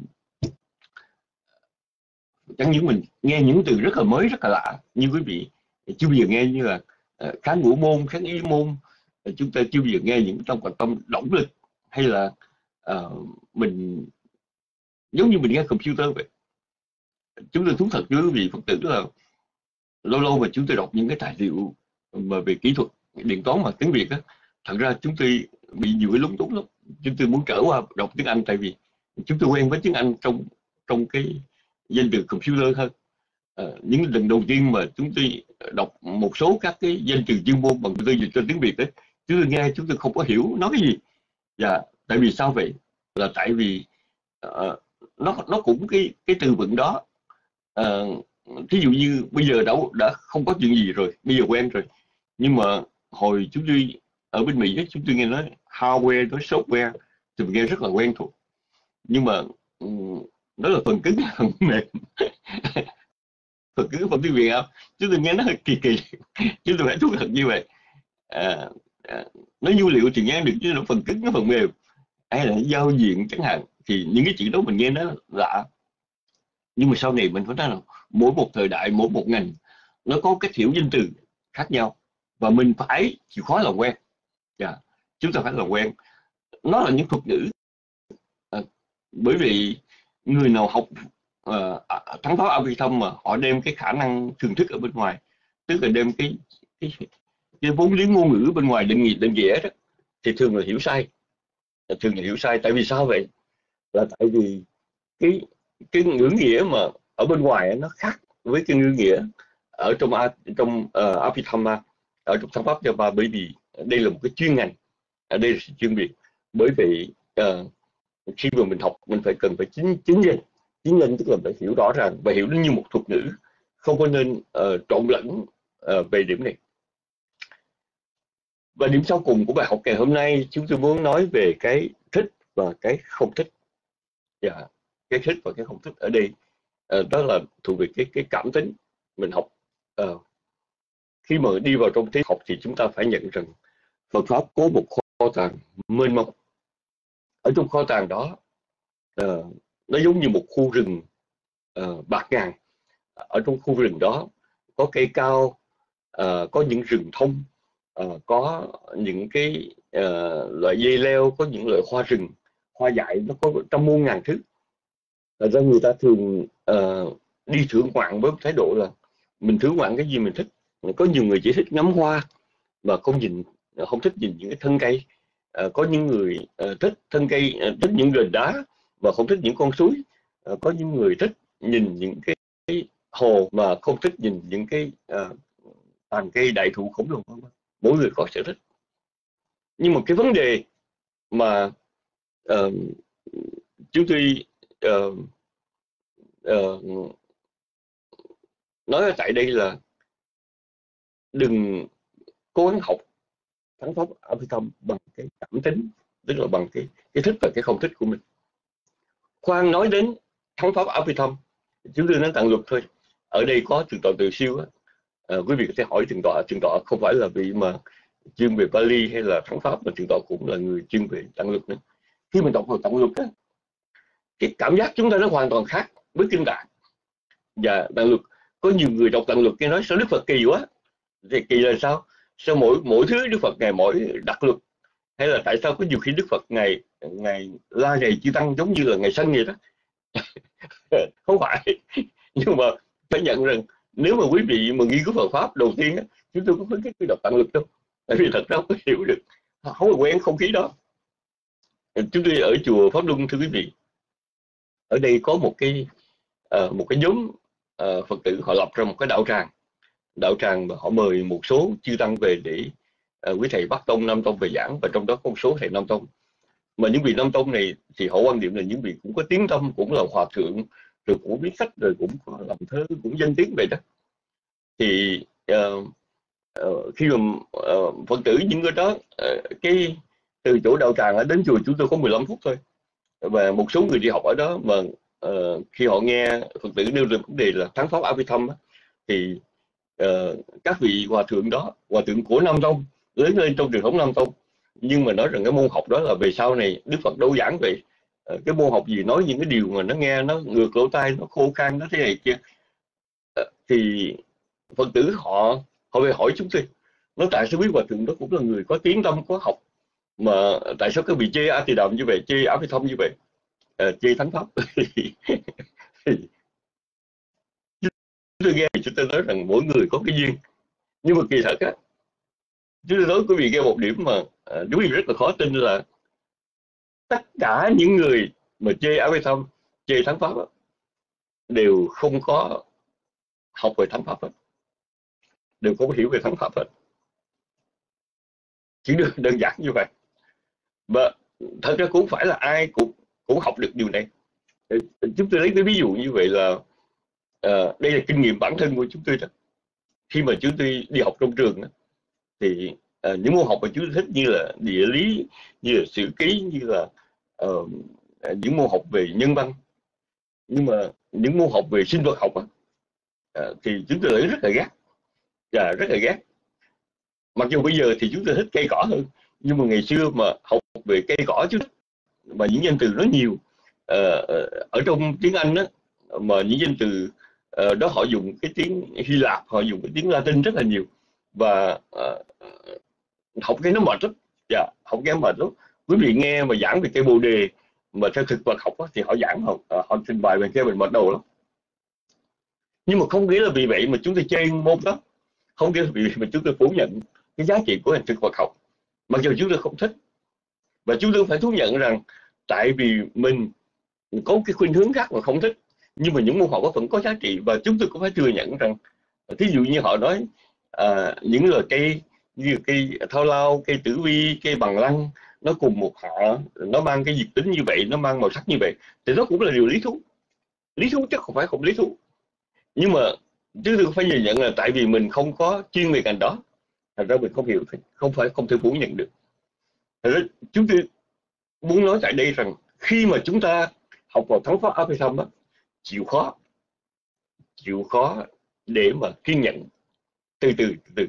thí dụ bây giờ uh, mình chỉ thích nghe nói về nghiệp báo. Và học xong mình thấy ủa cái môn này không nói gì về nghiệp báo. Nhưng mà thưa quý vị mới giai đoạn đầu thôi. Khi mà chúng ta học một thời gian rồi thì chúng ta thấy Abhidhamma nói rất nhiều về nghiệp và nói đến một cái ý nghĩa rất là sâu sắc tận cùng. Chúng tôi lấy một cái ví dụ là có một lần vua ba tiêu nặc ngồi kế bên đức phật, đang nói chuyện đức phật mà thấy có những vị đạo sĩ lo thể đi ngang. Nhà vua đứng lên, chắp tay cung kính chào những vị đó. Và nhà vua hỏi đức phật là có phải là những vị đó những vị a la hán đáng kính không? Thì đức phật thì không trả lời là những vị đó là a la hán không a la hán nhưng mà ngài có lưu ý cho vua ba tư nặc biết một điều rằng không phải là a la hán thì rất khó đánh giá ai là a la hán. Chúng tôi nói như vậy. Cũng như là có số các vị mới làm tiền có một lần thôi. Các vị về khen vị thiền sư này dây thiền sư kia chúng tôi nói khoan khoan khoan. Mới làm tiền thiền bởi vì đánh giá cái tiền sư rất khó cũng như có một vài người ờ, cầm một vài quyển sách thôi. Và cầm vài quyển sách thôi. À, mới đọc sơ sơ vài trang nói a chị làm nói chuyện trên ngọn cây nói chuyện trên mây. Ờ, nói thì chúng tôi không biết nói chuyện trên mây hay nói chuyện trên đất. Nhưng mà phải nói rằng không dễ dàng không dễ dàng để uh, trao tay uh, không có dễ dàng để thể truyền cảm hứng đối với một cái môn học mà nó ly chi như vậy. Nên chi uh, chúng ta phải đạt gạt qua một bên. À chuyện đó mình thích hay chuyện không thích? Cũng giống như chúng tôi nói hồi nhỏ uh, từ đầu từ siêu chúng tôi vào học đó, thì mới học uh, thắng pháp a tỳ đàm chúng tôi phải nhận là học như con vẹt thôi và cầm cái uh, biểu đồ chư pháp lên ờ, chỉ uh, tất cả là pháp pháp có hai pháp tục đế với chân đế. Nói nói mà thật ra mình hiểu trời đất hết chỉ chúng tôi phải thú nhận lúc học thuộc lòng. Nhưng mà rồi nhiều năm sau thì mình mới bắt đầu mình cảm nhận những gì mình đã học nó có lợi và nó có lợi ra sao. Thì chúng tôi muốn kêu gọi tất cả mọi người học là đây là một môn học rất lợi ích cho vấn đề học Phật. Dạ. Chúng tôi lấy một cái ví dụ là cái sứ Phật giáo mà tu về tứ niệm xứ nhiều đó là Miến Điện có nhiều trường thiền. Và Miến Điện là một quốc gia rất là thịnh hành về Abhidhamma dạ. Và nếu với một người bình thường thì họ nói rằng Abhidhamma và thiền học là hai cái hoàn toàn chống chống trái với nhau Abhidhamma thì nói những cái chuyện mà ly chi nói những chuyện mà rườm rà nói những cái chuyện mà xa lạ còn thiền học là đi vào ờ, ở đây và bây giờ vân vân. Nhưng mà thực tế không phải vậy. Và uh, chúng ta nên bình tâm. Yeah, chúng ta nên bình tâm và nhận ra những điều này. Không phải là các vị thiền sư miến điện uh, là những vị thiền sư không biết về pháp học đâu. Ừ, ở trên thế giới đặc biệt là các vị thiền sư miến điện là những vị rất giỏi về pháp học. Và những vị rất giỏi pháp học thì là chúng, chúng ta rất như rất giỏi về Abhidhamma dạ, dạ, rất giỏi về Abhidhamma chứ không phải là là đơn giản như là uh, chúng ta nghĩ rằng đó là một thế giới xa lạ mà chúng ta không học được. Thưa quý vị uh, đó là vài điều mà chúng tôi muốn uh, chúng tôi muốn đề cập đến trong uh, bài học ngày hôm nay. Và có lẽ bây giờ thì uh, uh, tiếp theo chúng tôi xin được thỉnh thượng tọa từ siêu để chia sẻ một vài cái uh, uh, cái suy tư tự tọa về những điều mà những cái uh, khái niệm nó hơi xa lạ khi mà chúng ta học thắng pháp. Và sau đó chúng tôi sẽ trở lại với một số các câu thảo luận. Và thưa luật từ siêu thượng tọa có còn ở trước máy không? Không biết thượng tọa từ siêu có nghe được không?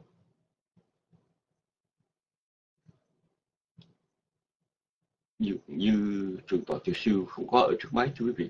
Trường tọa pháp tân ơi thượng tân có ở trước máy và tọa tân có uh, có nghe được không?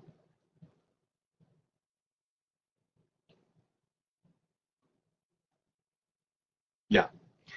Trường tọa pháp tân uh, ờ, thượng tọa khoan hỷ uh, chia sẻ với uh, với quý phật tử trong room là khi trường tọa mới học mà vi diệu pháp mới học thắng pháp Abhidhamma thì trường tọa có những ngỡ ngàng nào? Ờ, có những điều nào mà chúng tôi thấy rất là lạ lẫm thấy là uh, nó nó không quen. Uh, mình thấy mình nó không có dễ dàng. Nhưng mà sau đó một thời gian thì dần dà chúng tôi thấy nó thực sự có ích. Thì xin uh, kính thỉnh thưa Lord.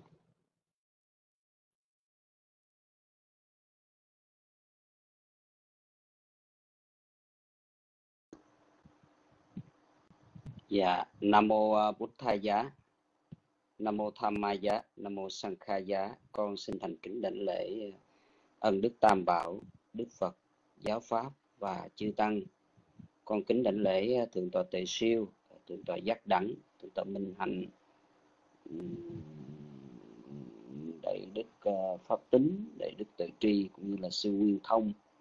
Kính chào quý cô tu nữ và thân chào quý thiện nam tín nữ. Cảm ơn ờ, quý Phật tử đã cho biết nghe rõ. Kính bạch chư tăng, kính thưa quý vị.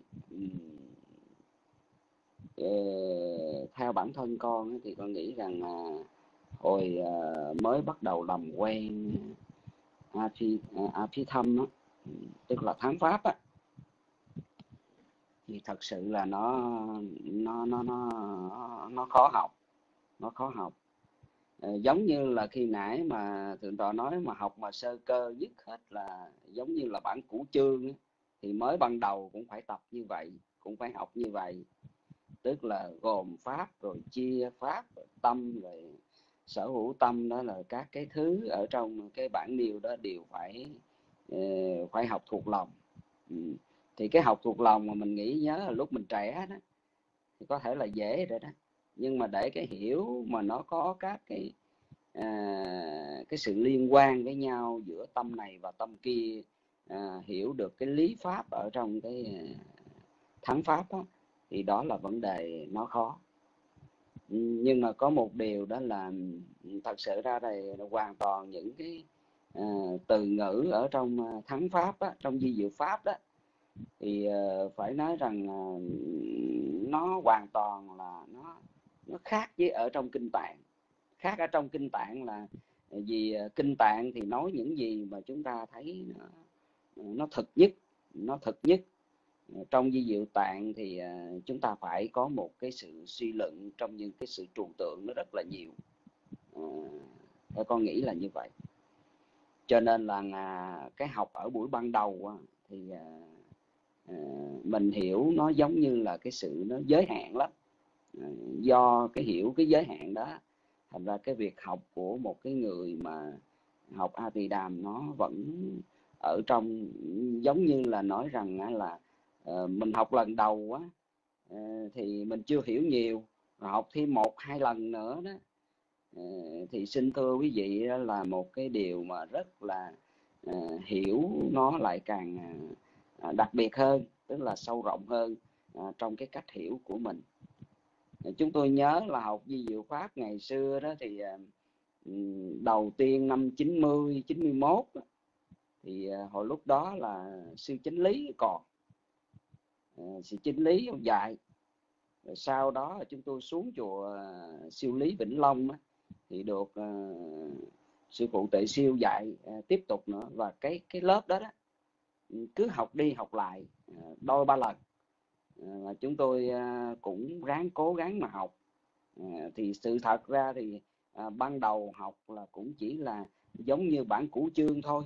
Nhưng mà sau một vài lần học như vậy đó hai lần học như vậy thì cái hiểu của mình nó lại lại có mang cái tính đặc biệt hơn là sâu rộng hơn ở trong cái à,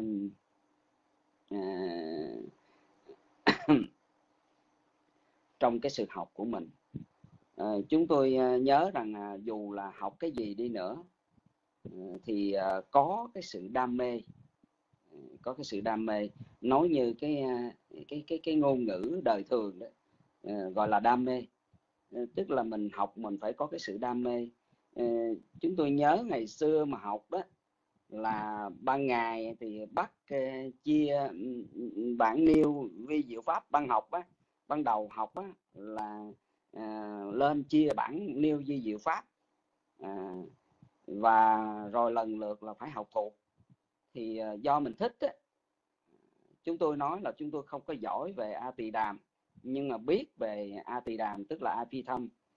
À, nói một điều đó là do mình thích cho nên là khi mà mình à, ngủ á, xin thưa quý vị là tối mà ngủ mình nằm chim bao mình còn nhớ mình mình mình chia cái bản nêu chi pháp. Tại vì mình thích à, thích học cái môn đó và thật sự là nhờ cái à, học về a tỳ đàm đó thì à, a phi thâm má đó mà sau này á, mình à, ờ, vừa coi ở trong tạng kinh ờ, rồi có dịp mà đi giảng hay đi dạy ở ờ, trường Phật học hay hoặc là đi giảng ở các cái đạo tràng đó thì phải nói là nhờ nhờ A Phi Thâm đó à, tức là nhờ thắng pháp mà chúng ta có thể giải thích nhiều cái vấn đề nó hết sức là ti ly ở trong kinh tạng. À, cho nên là à, xin thưa quý vị rằng là khi mà mình nhìn về học về A Tỳ Đàm tức là thắng pháp á, thì thật sự ra chúng chúng ta nhìn ở vạn vật ở trong cuộc đời này đó thì nó hết sức là những cái à, những cái tỉ mỉ à, nó có các cái mối liên quan Ờ, với nhau và nó do cái những cái nhân duyên để ờ, để hình thành lên một cái tâm nào đó. Thì chúng ta nhìn thấy những cái điều đó ờ, chúng ta thấy rất là quan hỷ trong cái việc học Phật pháp. Cho nên chúng tôi nghĩ rằng là chúng, lớp học của chúng ta mà được ngài Tệ Siêu tức là sư phụ Tệ Siêu cũng như là thượng tọa giác đẳng dạy cho chúng ta về cái môn thắng pháp này đó, thì đó thật sự là cái sự lợi ích nãy giờ chúng tôi ngồi nghe mà thượng tọa dẫn nhập về cái môn à, này đó qua cái cách trình bày của thượng tọa và nhiều cái ví dụ cũng như là cái sự uh, dẫn chứng uh, liên quan với khoa học ngày nay cũng như là nói liên quan tới vi tính tức là computer đó. Thì những cái liên quan đó thì uh, điều đó nó uh, giải thích uh, cũng như là chứng minh uh, những cái rất là gần gũi với A Tỳ Đàm nhưng quả thật là A Tỳ Đàm là à, nói đến những điều mà liên quan đến thân và tâm của chúng ta. Những cái à, à, sắc pháp ở bên ngoài à, những cái hiện tượng ở bên ngoài à, cũng như là ở trong nội thân của chúng ta thân và tâm của chúng ta. Thì cái điều đó nó rất là quan trọng. Chúng tôi nghĩ rất là quan trọng. Cho nên là à, chúng ta học ờ, chúng tôi nghĩ rằng à, Ờ, chúng ta học mà lỡ mà chúng ta không có hiểu hết hoàn toàn thì chúng ta cũng cố gắng để học. Nếu mà lần sau chúng ta được học lại nữa thì chúng ta ờ, lại hiểu thêm uh, tí nữa chúng ta hiểu thêm sâu rộng thêm tí nữa. Và thật sự ra thì cái môn ma tỳ đàm uh, mình mới nghe qua bản thân của chúng tôi mới học đó, thì uh, quả thật là cũng thấy nó hơi khó đó. Uh, cũng thấy hơi khó nhưng mà qua nhiều lần mình học á, thì mình lại có một cái trí suy tư rất là nhiều. Ờ, lúc bấy giờ cái con số nó không là quan trọng nữa mà bây giờ mình suy tư nó có cái mối liên hệ giữa tâm này và tâm kia. Những cái yếu lý của ờ, lý pháp ở trong di diệu pháp giữa tâm và sở hữu như thế nào ở khía cạnh lĩnh vực nào thì chúng ta hiểu như vậy thì chúng tôi nghĩ rằng cái hiểu đó nó giúp cho chúng ta có sự quan hỷ. Việc học trong cái việc mà chúng ta học về thắng pháp này cái môn thắng pháp này. À, chúng tôi nghĩ là như vậy. Và xin thưa quý vị rằng là cho đến ngày hôm nay đó thì à, như quý vị biết rằng trong những cái hội chúng thông thường đó à, phổ thông á, thì những cái người mà không có học về a phi thâm á thì người ta viết về tạng kinh á thì từ người ta nghe quen rồi nhưng mà khi mà mình đem a phi thâm về mình giảng thì mang cái tính chuyên môn quá. Mà rõ ràng thì mình cũng hiểu được cái cái tâm tình cái cái cái cái cái trình độ của cái cái ở trong cái cái hội chúng phổ thông á. Do là người đó họ không có học đa phần là họ không có học ai gì tỳ đàm. Mà mình giảng về chuyên sâu về tỳ đàm thì người ta hoàn toàn không hiểu gì hết. À, thì nó cũng không có cái cái lợi ích gì khi mà mình dẫn giải giảng giải về a tỳ đàm lòng ghép và phân tích ở trong kinh tạng mà mình muốn được giảng. Do vậy đó thì à, khi nào mình thấy cần thiết thì mình uh, đem vấn đề đó được mổ xẻ qua cái uh, cái lăng kính của a tỳ đàm thì chúng tôi nghĩ rằng uh, cái đó nó hết sức là chặt chẽ cũng như là ti ly ở trong các cái lời dạy của đức phật. Ừ, thí dụ như bây giờ nếu mà nói về nghiệp thì mình nói chung chung là nghiệp quá khứ hiện tại vị lai nhưng mà nhà tỳ đàm thì chúng ta mới phân biết được là à, cái tâm nó thuộc sát na nào nó co cho cái quả. Ở hiện tại rồi tâm nó thuộc về sát na nào nó cho quả ở cái kiếp kế tiếp. Rồi cái tâm nó thuộc về ở sát na nào đó thì nó cho quả uh, bất cứ một thời điểm nào thời gian nào trong cái kiếp nào luân hồi của mình. Uh, thì chỉ có ai tỳ đàm mới sẽ giải thích những điều đó. Chứ còn bình thường thì mình chỉ nói là quá khứ hiện tại và vị lai. À, như vậy thôi. Thì chúng tôi nghĩ rằng à, cái việc học của mình uh, ban đầu thì à, mình chỉ mình có thể là làm quen rồi à, lần lượt mình sẽ hiểu rồi mình tập cho cái tâm của mình có được cái sự suy tư đó. Thì cái việc đó mình rất là có lợi cho cái việc mà học của mình. Và khi mà mình học a tỳ đàm thì sẽ có uh, lợi rất là nhiều trong cái đời sống tu tập của mình. À, về phương diện pháp học hay là về phương diện pháp hành à, nó hỗ trợ cho cái việc mà chúng ta học hoặc là hành có những cái kết quả tốt là như vậy. Thì riêng bản thân chúng tôi chúng tôi nghĩ rằng à, ở buổi ban đầu mình học thì nó hơi khó nó hơi khó. Vì khi mà mình làm quen những cái từ ngữ chuyên môn ở trong thắng pháp á, thì chúng ta đã thấy là khó rồi. Huống chi là trong đó rất là nhiều vấn đề nhiều từ ngữ nhiều loại tâm. À, chúng ta cần phải nhớ hết. Cái nhớ đó là cái căn bản đầu tiên. Rồi sau đó thì chúng ta sẽ hiểu rồi có cái sự suy luận thêm đó. Thì chúng ta mới hiểu một cách chuyên môn đặc biệt ở trong a tỳ đàm à, hay là trong a phi thâm. Thì chúng tôi xin uh, có cái ý qua cái câu hỏi mà um, mà mà thượng tọa giác đẳng vừa nêu chúng tôi à, à, xin được dứt lời ở đây. Con xin thỉnh thượng tọa trở lại. Nam mô bút thai giá.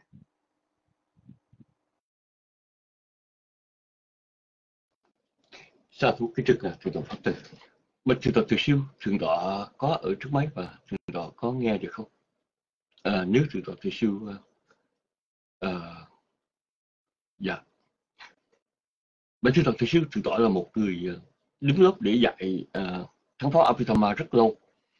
Ờ, uh, thượng tọa có thể chia sẻ với đại chúng ở đây về cái uh, cái cái khó khăn nào mà thượng tọa thường gặp khi thượng tọa giới thiệu môn học này.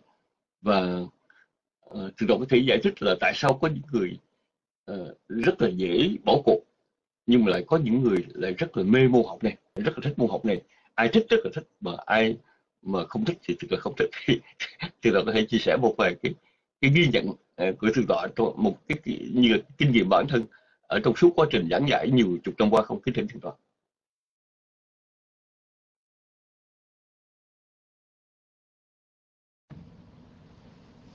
Anh đang buồn thầy à? kính lễ phật kính lễ pháp kính lễ tăng kính bạch chư tôn đức kính thưa quý vị. Ở nói đến môn học của Abhidhamma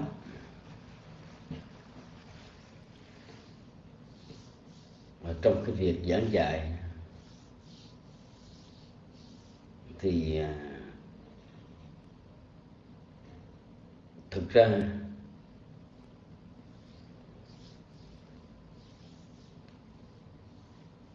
chúng tôi cũng gặp nhiều cái sự khó khăn để truyền đạt à, đến cho tăng ni phật tử về cái môn học này.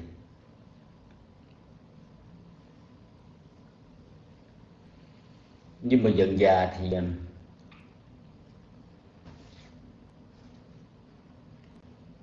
chúng tôi có cách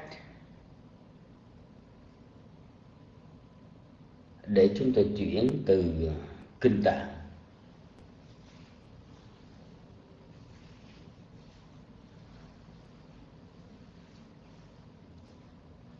Đến cái tạng diệu pháp Abhidhamma xem ra cái cách này cũng giúp cho người ta cảm thấy có phần dễ hiểu hơn. Và chúng tôi cứ cải cách liên tục.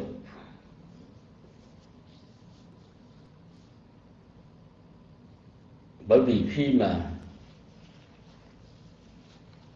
cái giới học Phật không ai là không biết pháp thiện, không ai là không biết các bất thiện.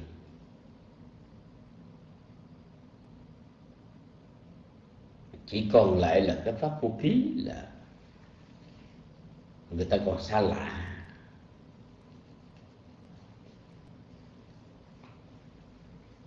Nhưng mà không sao. Khi mà chúng tôi ờ, trình bày với họ về vạn pháp.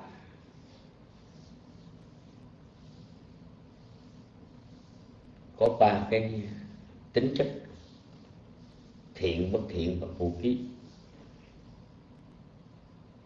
đi cái ngõ đó thì họ cũng quen, thưa quý vị. Hoặc là chúng tôi đi cái ngõ khác để giới thiệu về mở tức là trên đời này có ba cái trường hợp, ba cái phạm trù. Pháp thành nhân, pháp thành quả pháp phi quả phi nhân.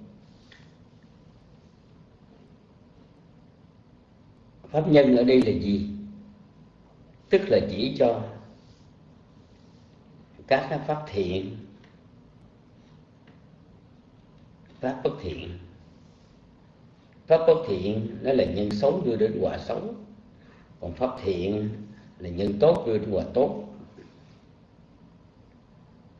Rồi từ cái chỗ pháp bất thiện đó, chúng tôi mới phân ra là có tâm tham, tâm sân, tâm si. Từ cái pháp thiện thì có thiện dục giới, thiện sắc giới, thiện vô sắc giới và thiện siêu thế. Vân vân. Tất nhiên, mặc dù mình có sự cải cách về cái phương pháp giới thiệu để cho mọi người quen với cái môn vi diệu pháp nhưng mà trong cái trở ngại đó, một là học ở phía thâm mát.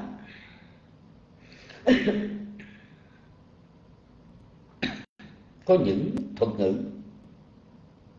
chuyên môn,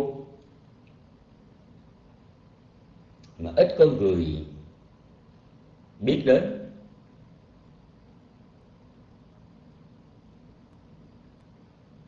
Khi mà chúng ta nói, khi mà nói về quẩn năm quẩn ngũ quẩn thì tăng ni phật tử, cái giới học phật ai cũng biết. Nói đến nội xứ, ngoại xứ, thập nhị xứ, thì tương đối cũng có một ít người biết đến. Nhưng mà qua đến 18 giới trong trường hợp này họ lại hơi khó hiểu rồi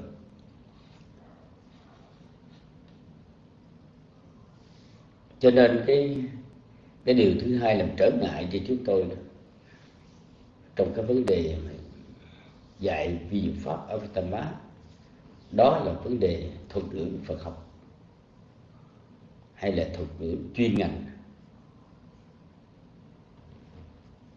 Cái khó thứ ba đó là học kinh tạng.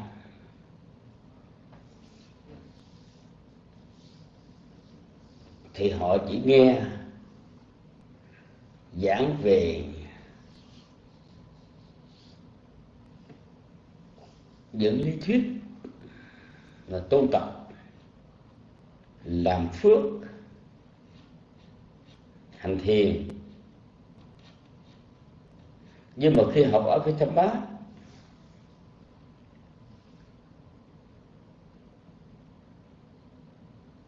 thì cái chuyện mà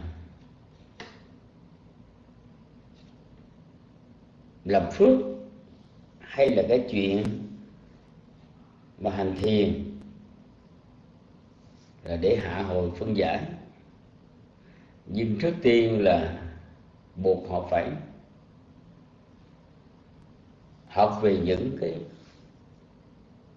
triết lý.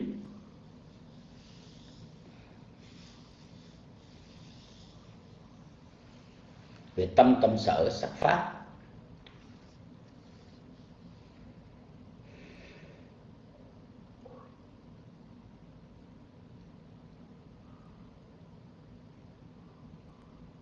Cái sự tương quan giữa danh và sắc cái sự tương quan giữa danh với danh, với sắc với sắc. Rồi bắt đầu học viên họ cảm thấy là chuyện lớn, bắt đầu họ cảm thấy hơi khó khăn. Cho nên cái điểm thứ ba cái điều thứ ba mà khiến cho chúng tôi gặp trở ngại đó là trong cái vấn đề triết lý. Muốn trình bày cho người khác hiểu. Ở cái tầm mắt thật không phải là chuyện dễ như kinh tạng. Và một điều thứ tư nữa là những con số bên cạnh những ý nghĩa những triết lý. Người học viện pháp cái buổi băng sơ là họ phải nắm bắt được những con số như là 54 tâm dục giới 15 tâm sắc giới 12 tâm vô sắc giới 40 tâm siêu thế vân vân. Rồi à, những thụ tánh phối hợp với tâm.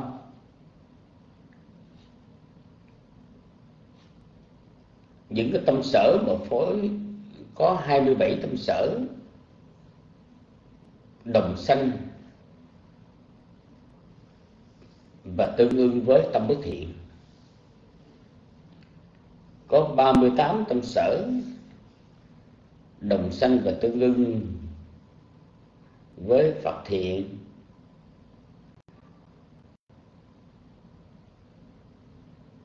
Hoặc là 33 hay 35 tâm sở đồng sanh tương ưng với tâm phù khí, vân vân. Thì thưa quý vị, khi mà học những con số như vậy đó, thì khiến cho người nghe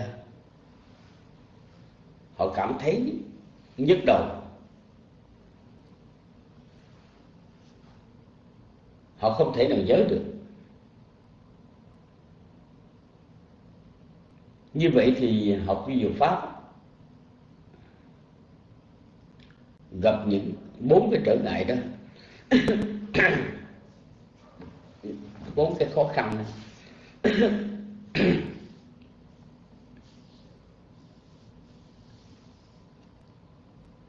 và ở đây thưa quý vị cũng không phải là hoàn toàn. Ai cũng ngao ngán, cũng chán học vi dược pháp ở phía tâm mát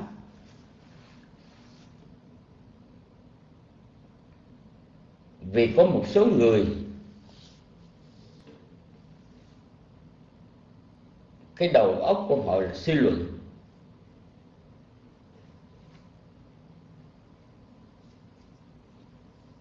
Và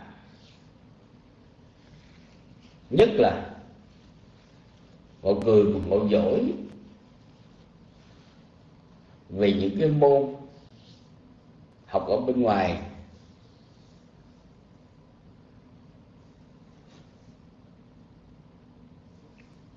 Cái gì cũng phải chứng minh.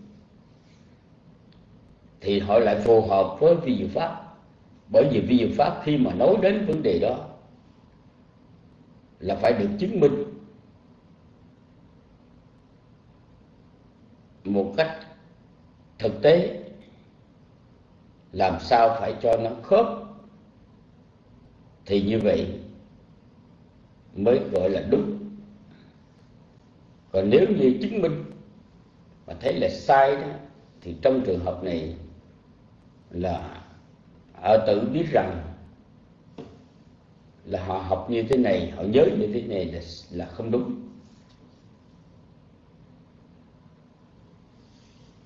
Thì vân vân. Thì đối với người mà họ có cái đầu óc đó, như vậy thì họ đi vào trong nhiều diệu pháp đó, thì họ không cảm thấy là khó khăn không cảm thấy là khô khan. Và nếu một người biết vận dụng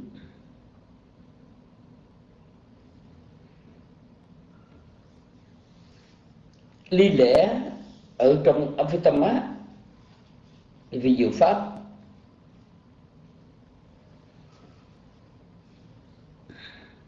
Để ứng dụng trong cái việc mà hành thiền.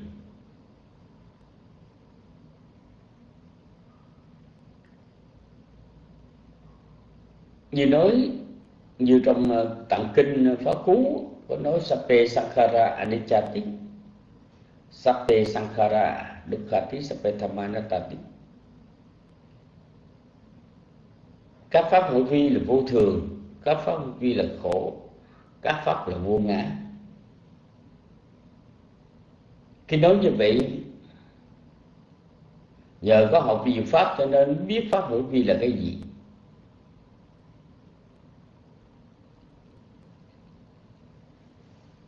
Và pháp hữu vi đó vô thường là tại sao?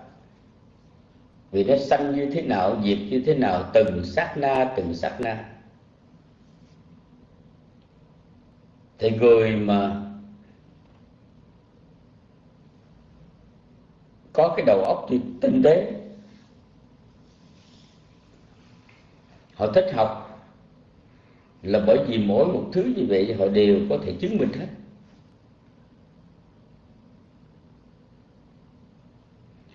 Cho nên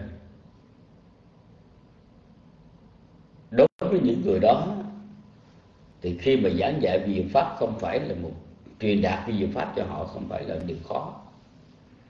Chỉ có những người trí nhớ kém cỏi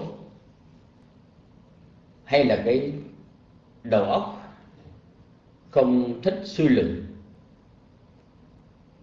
Họ chỉ thích đơn giản hay là có cái niềm tin đi chùa để mà tạo phước thôi. Hay là ngồi tụng kinh niệm phật thôi. Thì đối với người mà không thích suy luận đó thì người đó học viên pháp học chán đó, và không có đeo đủ nổi.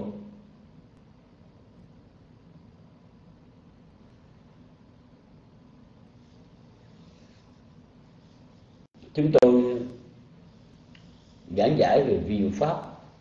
Giảng dạy vi pháp cũng đã nhiều năm rồi.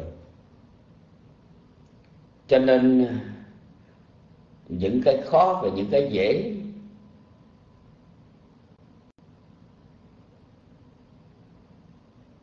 chúng tôi đều kinh nghiệm qua hết, trải nghiệm qua hết.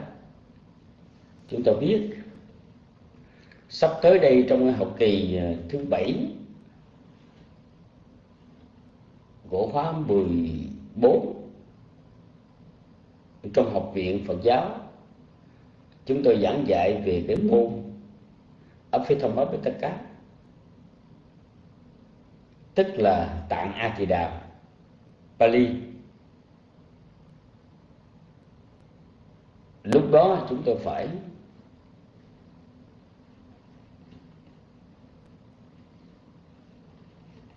đối phó với cái môn học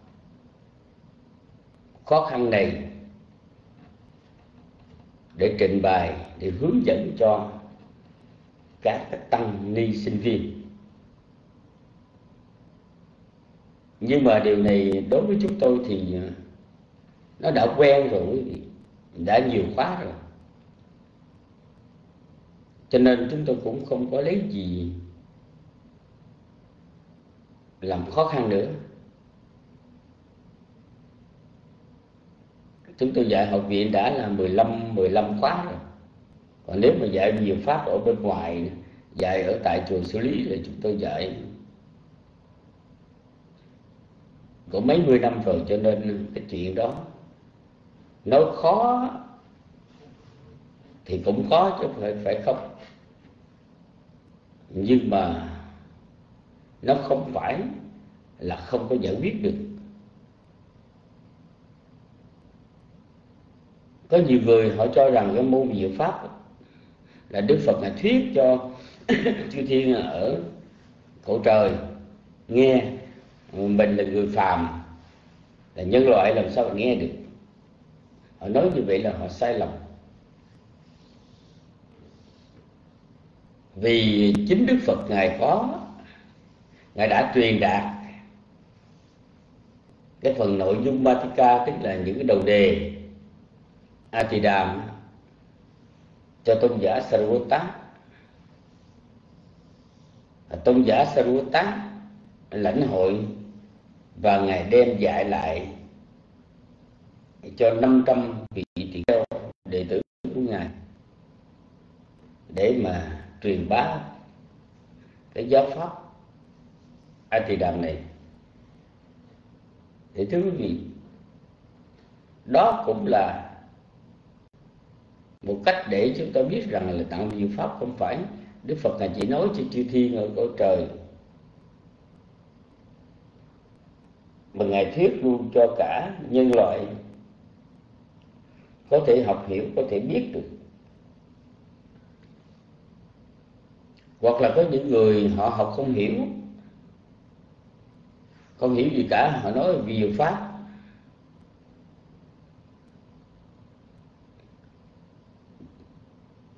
Lý thuyết để chơi. Chứ thật sự không có lợi ích gì. Thì chúng tôi mới bảo rằng là, theo tôi chú giải thì ba tạng gọi là Chaturasi Tí Sahasathamakanta, tức là 84 ngàn pháp môn.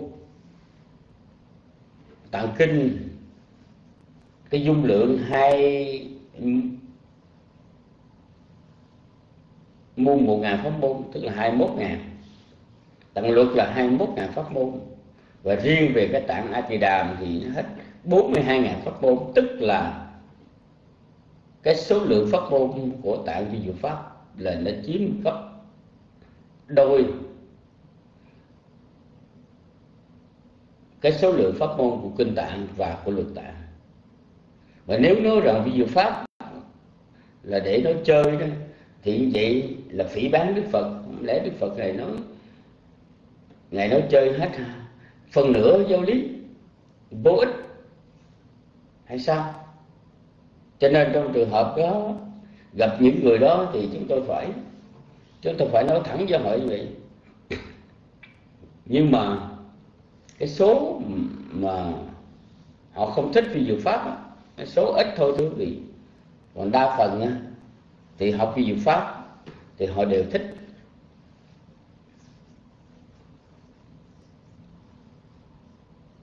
Cho nên trong cái dịp này, thượng tọa giáo đẳng hỏi chúng tôi, cái khó và cái dễ,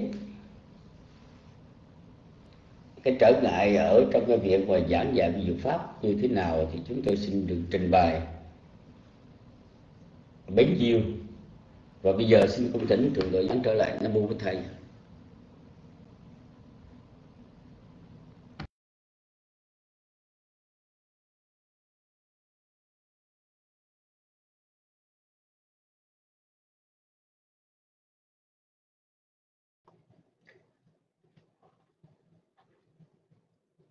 Sa cũng kính thưa trường tọa thượng siêu. Bạch trường tọa thượng siêu uh, nếu có một người nào đó mà rất là tình cờ họ không biết gì về về Apithom hết không biết về thống pháp Apithom hết mà họ gặp trực tiếp với tờ tự siêu họ hỏi là ừ, à, thống pháp Apithom dạy cái gì? Thì à, từ tổ có lúng túng để trả lời với họ không? Lấy ví dụ như là uh, có những người họ rất giỏi về máy điện và giỏi về computer. Mà họ học cả hàng chục năm họ quen với máy computer. Bây giờ cái người không biết gì hết á khi hỏi là máy computer là việc sao? thì đôi khi họ cảm thấy rất là khó để mà chỉ.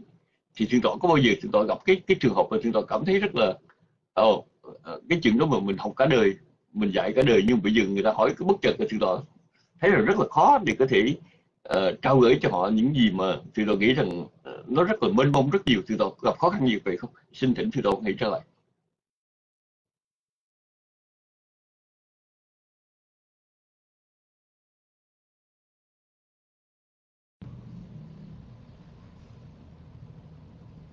Kính bạch chư tôn đức kính thưa quý vị. Đối với những cái môn học ở bên ngoài, những cái trường hợp như không computer chẳng hạn, hay điện toán. Mặc dù ờ, một người rất giỏi nhưng mà trải qua một thời gian dài, thì cái sự phát triển của khoa học nó tiến bộ lên. Cho nên những người học mà họ không kịp cập nhật, thì bây giờ họ mới cảm thấy lúng túng. Khi mà được hỏi những cái vấn đề mới, cái ngành y học cũng vậy thưa quý vị. Các bác sĩ được phải cập nhật thường xuyên về cái phương pháp trị bệnh như tên bệnh hoặc là những cái dược phẩm được bào chế để trị những bệnh đó luôn luôn mới, luôn luôn mới. Nhưng mà có một điều Aphitamab với tất cả tặng vi dược pháp vi dược pháp.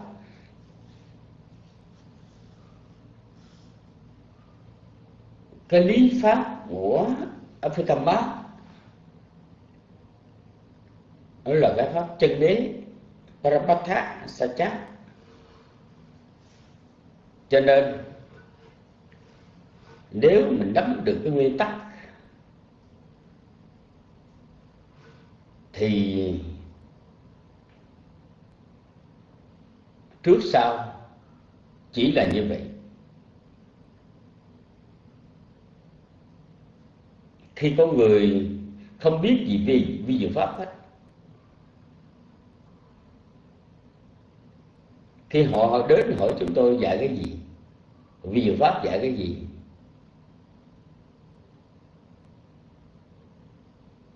Thì chúng tôi chỉ nói cho họ biết rằng là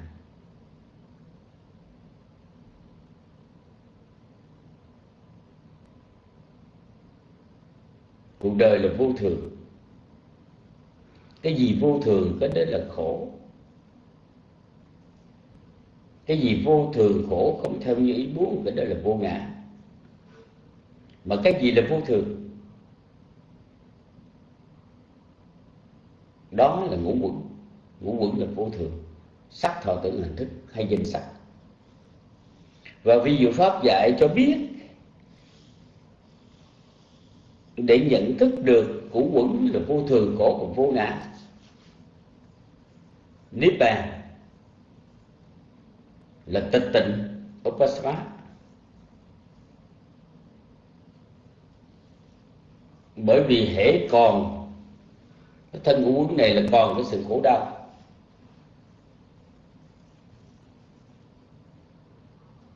Khi nào chấm dứt cái sự tái tục ngũ quẩn, thì mới chấm dứt được cái sự khổ đau. Vì pháp chỉ dạy có nhiêu đó thôi. Bao nhiêu đó được gọi là nghe giá thâm mắt tức là pháp ứng tri pháp cần phải biết.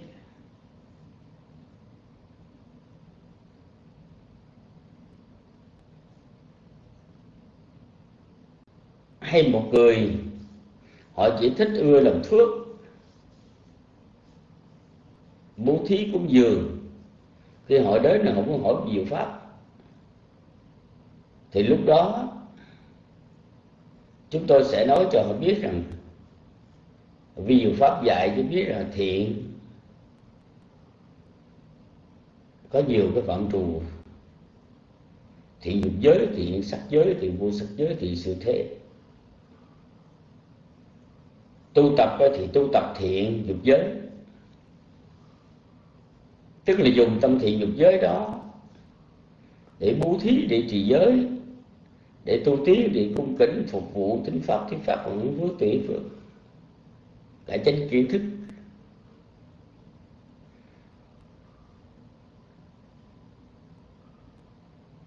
Nhưng mà đến khi chứng đắc đó thì chứng đắc thiện, sắc giới thì vô sắc giới, gọi là chứng đắc thiền định. Hay là chứng đắc thiện sơ thế, tức là đạo tu được quần. Tức là hàm đạo anh hàm đạo là hắn đạo. Mình giải thích cho họ nghe bốn cái tánh cách thiện đó. Cũng chưa hết. Trong vạn pháp thì có pháp thiện, pháp bất thiện. Có những pháp khác ngoài ra thiện bất thiện, cái pháp đó thuộc về abhyakata tức là cái pháp vô ký. Mình giải thích được phân tích như vậy thì à, tất nhiên mình phải tùy, phải khéo để nhận xét cái người hỏi mình về cái pháp môn Abhidhamma người đó cái trí tuệ nhạy bén hay là chậm chạp?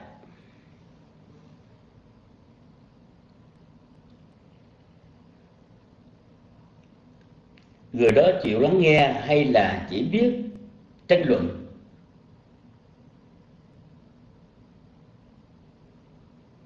Thì tùy theo đối tượng mà mình trả lời.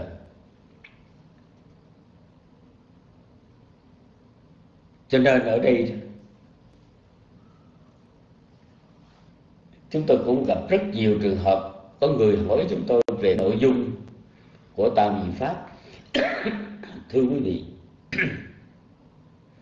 thật ra đó, thì chúng ta có nói hàng trăm thì nó hơi quá, đếm không hết.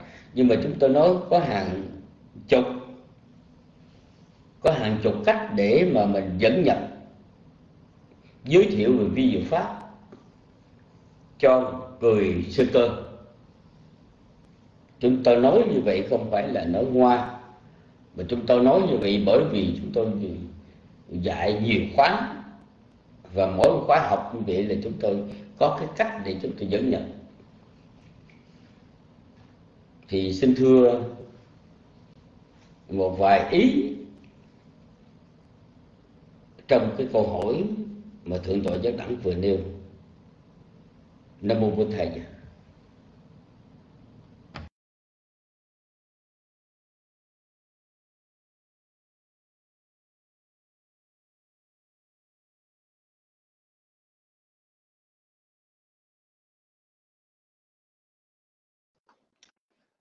Sa thú kính trình từ toàn thầy siêu. À, thưa quý Phật tử, chúng tôi cũng ờ, lưu ý quý Phật tử một điều rằng uh, kinh nghiệm uh, trong hơn 20 năm qua khi mà chúng ta uh, dạy Phật pháp trong thoi thoát mỗi lần chúng ta bắt đầu một cái giáo trình mới đó thì uh, không phải quý Phật tử mà các vị giảng sư cũng hơi có một chút uh, bỡ ngỡ với cái uh, với cái cách học và cách dạy mới.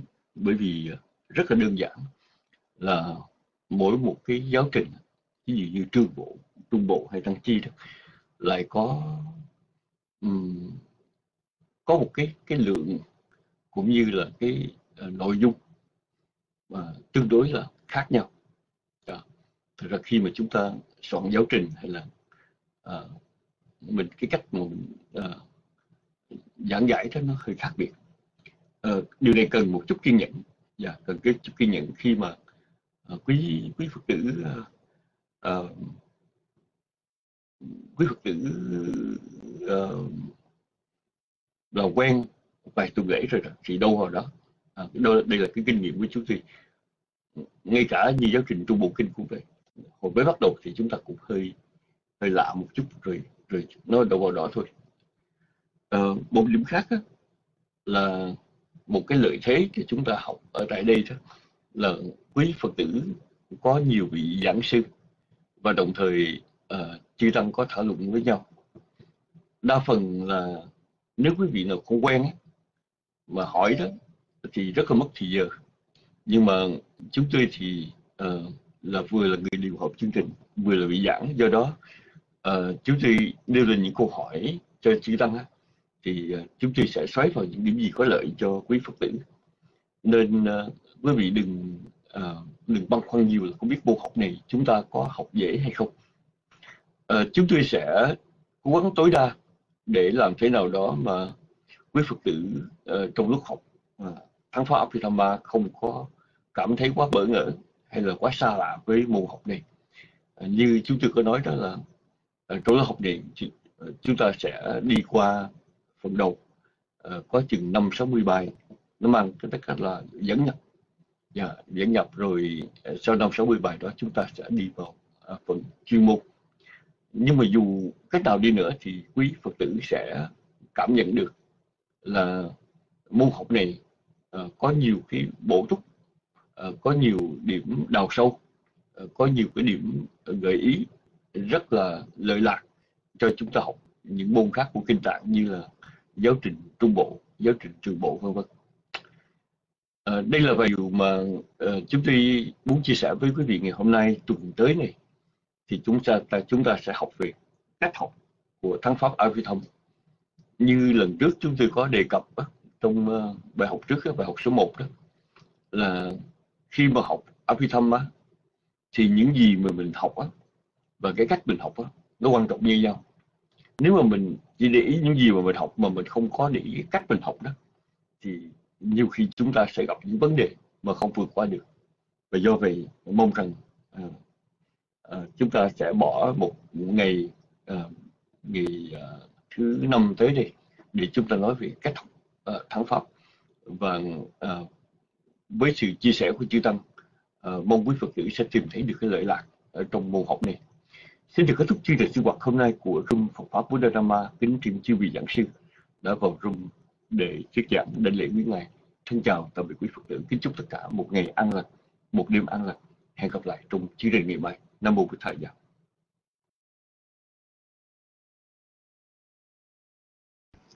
Nam mô Bích Thầy Giá Sa Thú Lành Thầy, chúng con kính riêng thượng tọa giác đặng đã đúc kết cho bài học ngày hôm nay. Con là nhà Nguyệt thay mặt đại chúng trong rung. Chúng con kính tri ân chư Tôn Đức đã mở lòng bi mẫn giảng dạy Phật Pháp mới cho chúng con để hướng dẫn dìu dắt chúng con tiến bước trên hành trình tu tập hồng mong đem lại an lạc trong đời sống và hướng đến độ quả giải thoát luân hồi. Kính cảm ơn đại chúng đã lắng tâm thanh tịnh thính pháp. Kính cảm ơn quý ơn cho các vận hành trong lớp học được hoàn tất mỹ mãn. Chúng con kính chúc cho Tôn Đức thân tâm thường lạc Phật sự viên thành. Kính chúc quý đạo hữu luôn an lạc ác tường trong chánh pháp nhiệm màu của Đức Từ Phụ Thích Ca Mâu Ni. Để kết thúc chương trình, xin chúng ta nhất tâm hồi hướng. Nguyện công đức đã làm, kết duyên lành giải thoát, nguyện hồi hướng chư thiên, hàng thiện thần hộ pháp. Nguyện các bậc hữu ân đồng thừa tư công đức. Nguyện chánh pháp trường tồn, chúng sanh cầu giải thoát. Nam mô Bích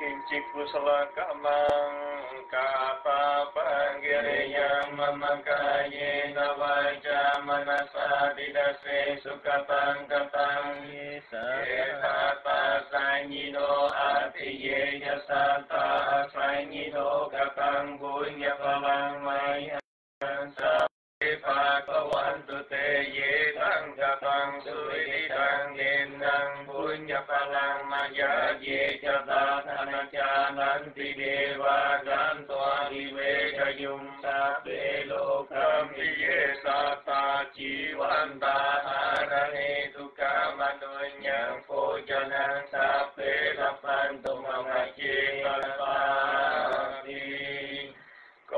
xin hồi hướng phước lành.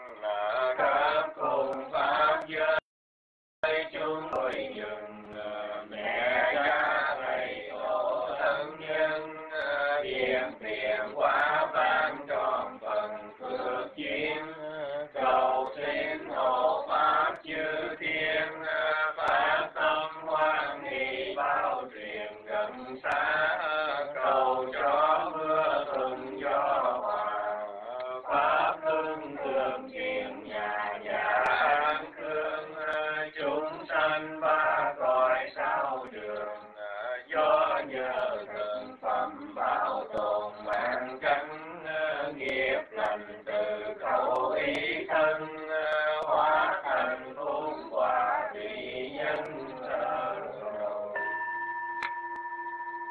Putusapang sumanggalang rakantu sapa devata sapa buta lupa vena soti ni ron Putusapang rang Mangalang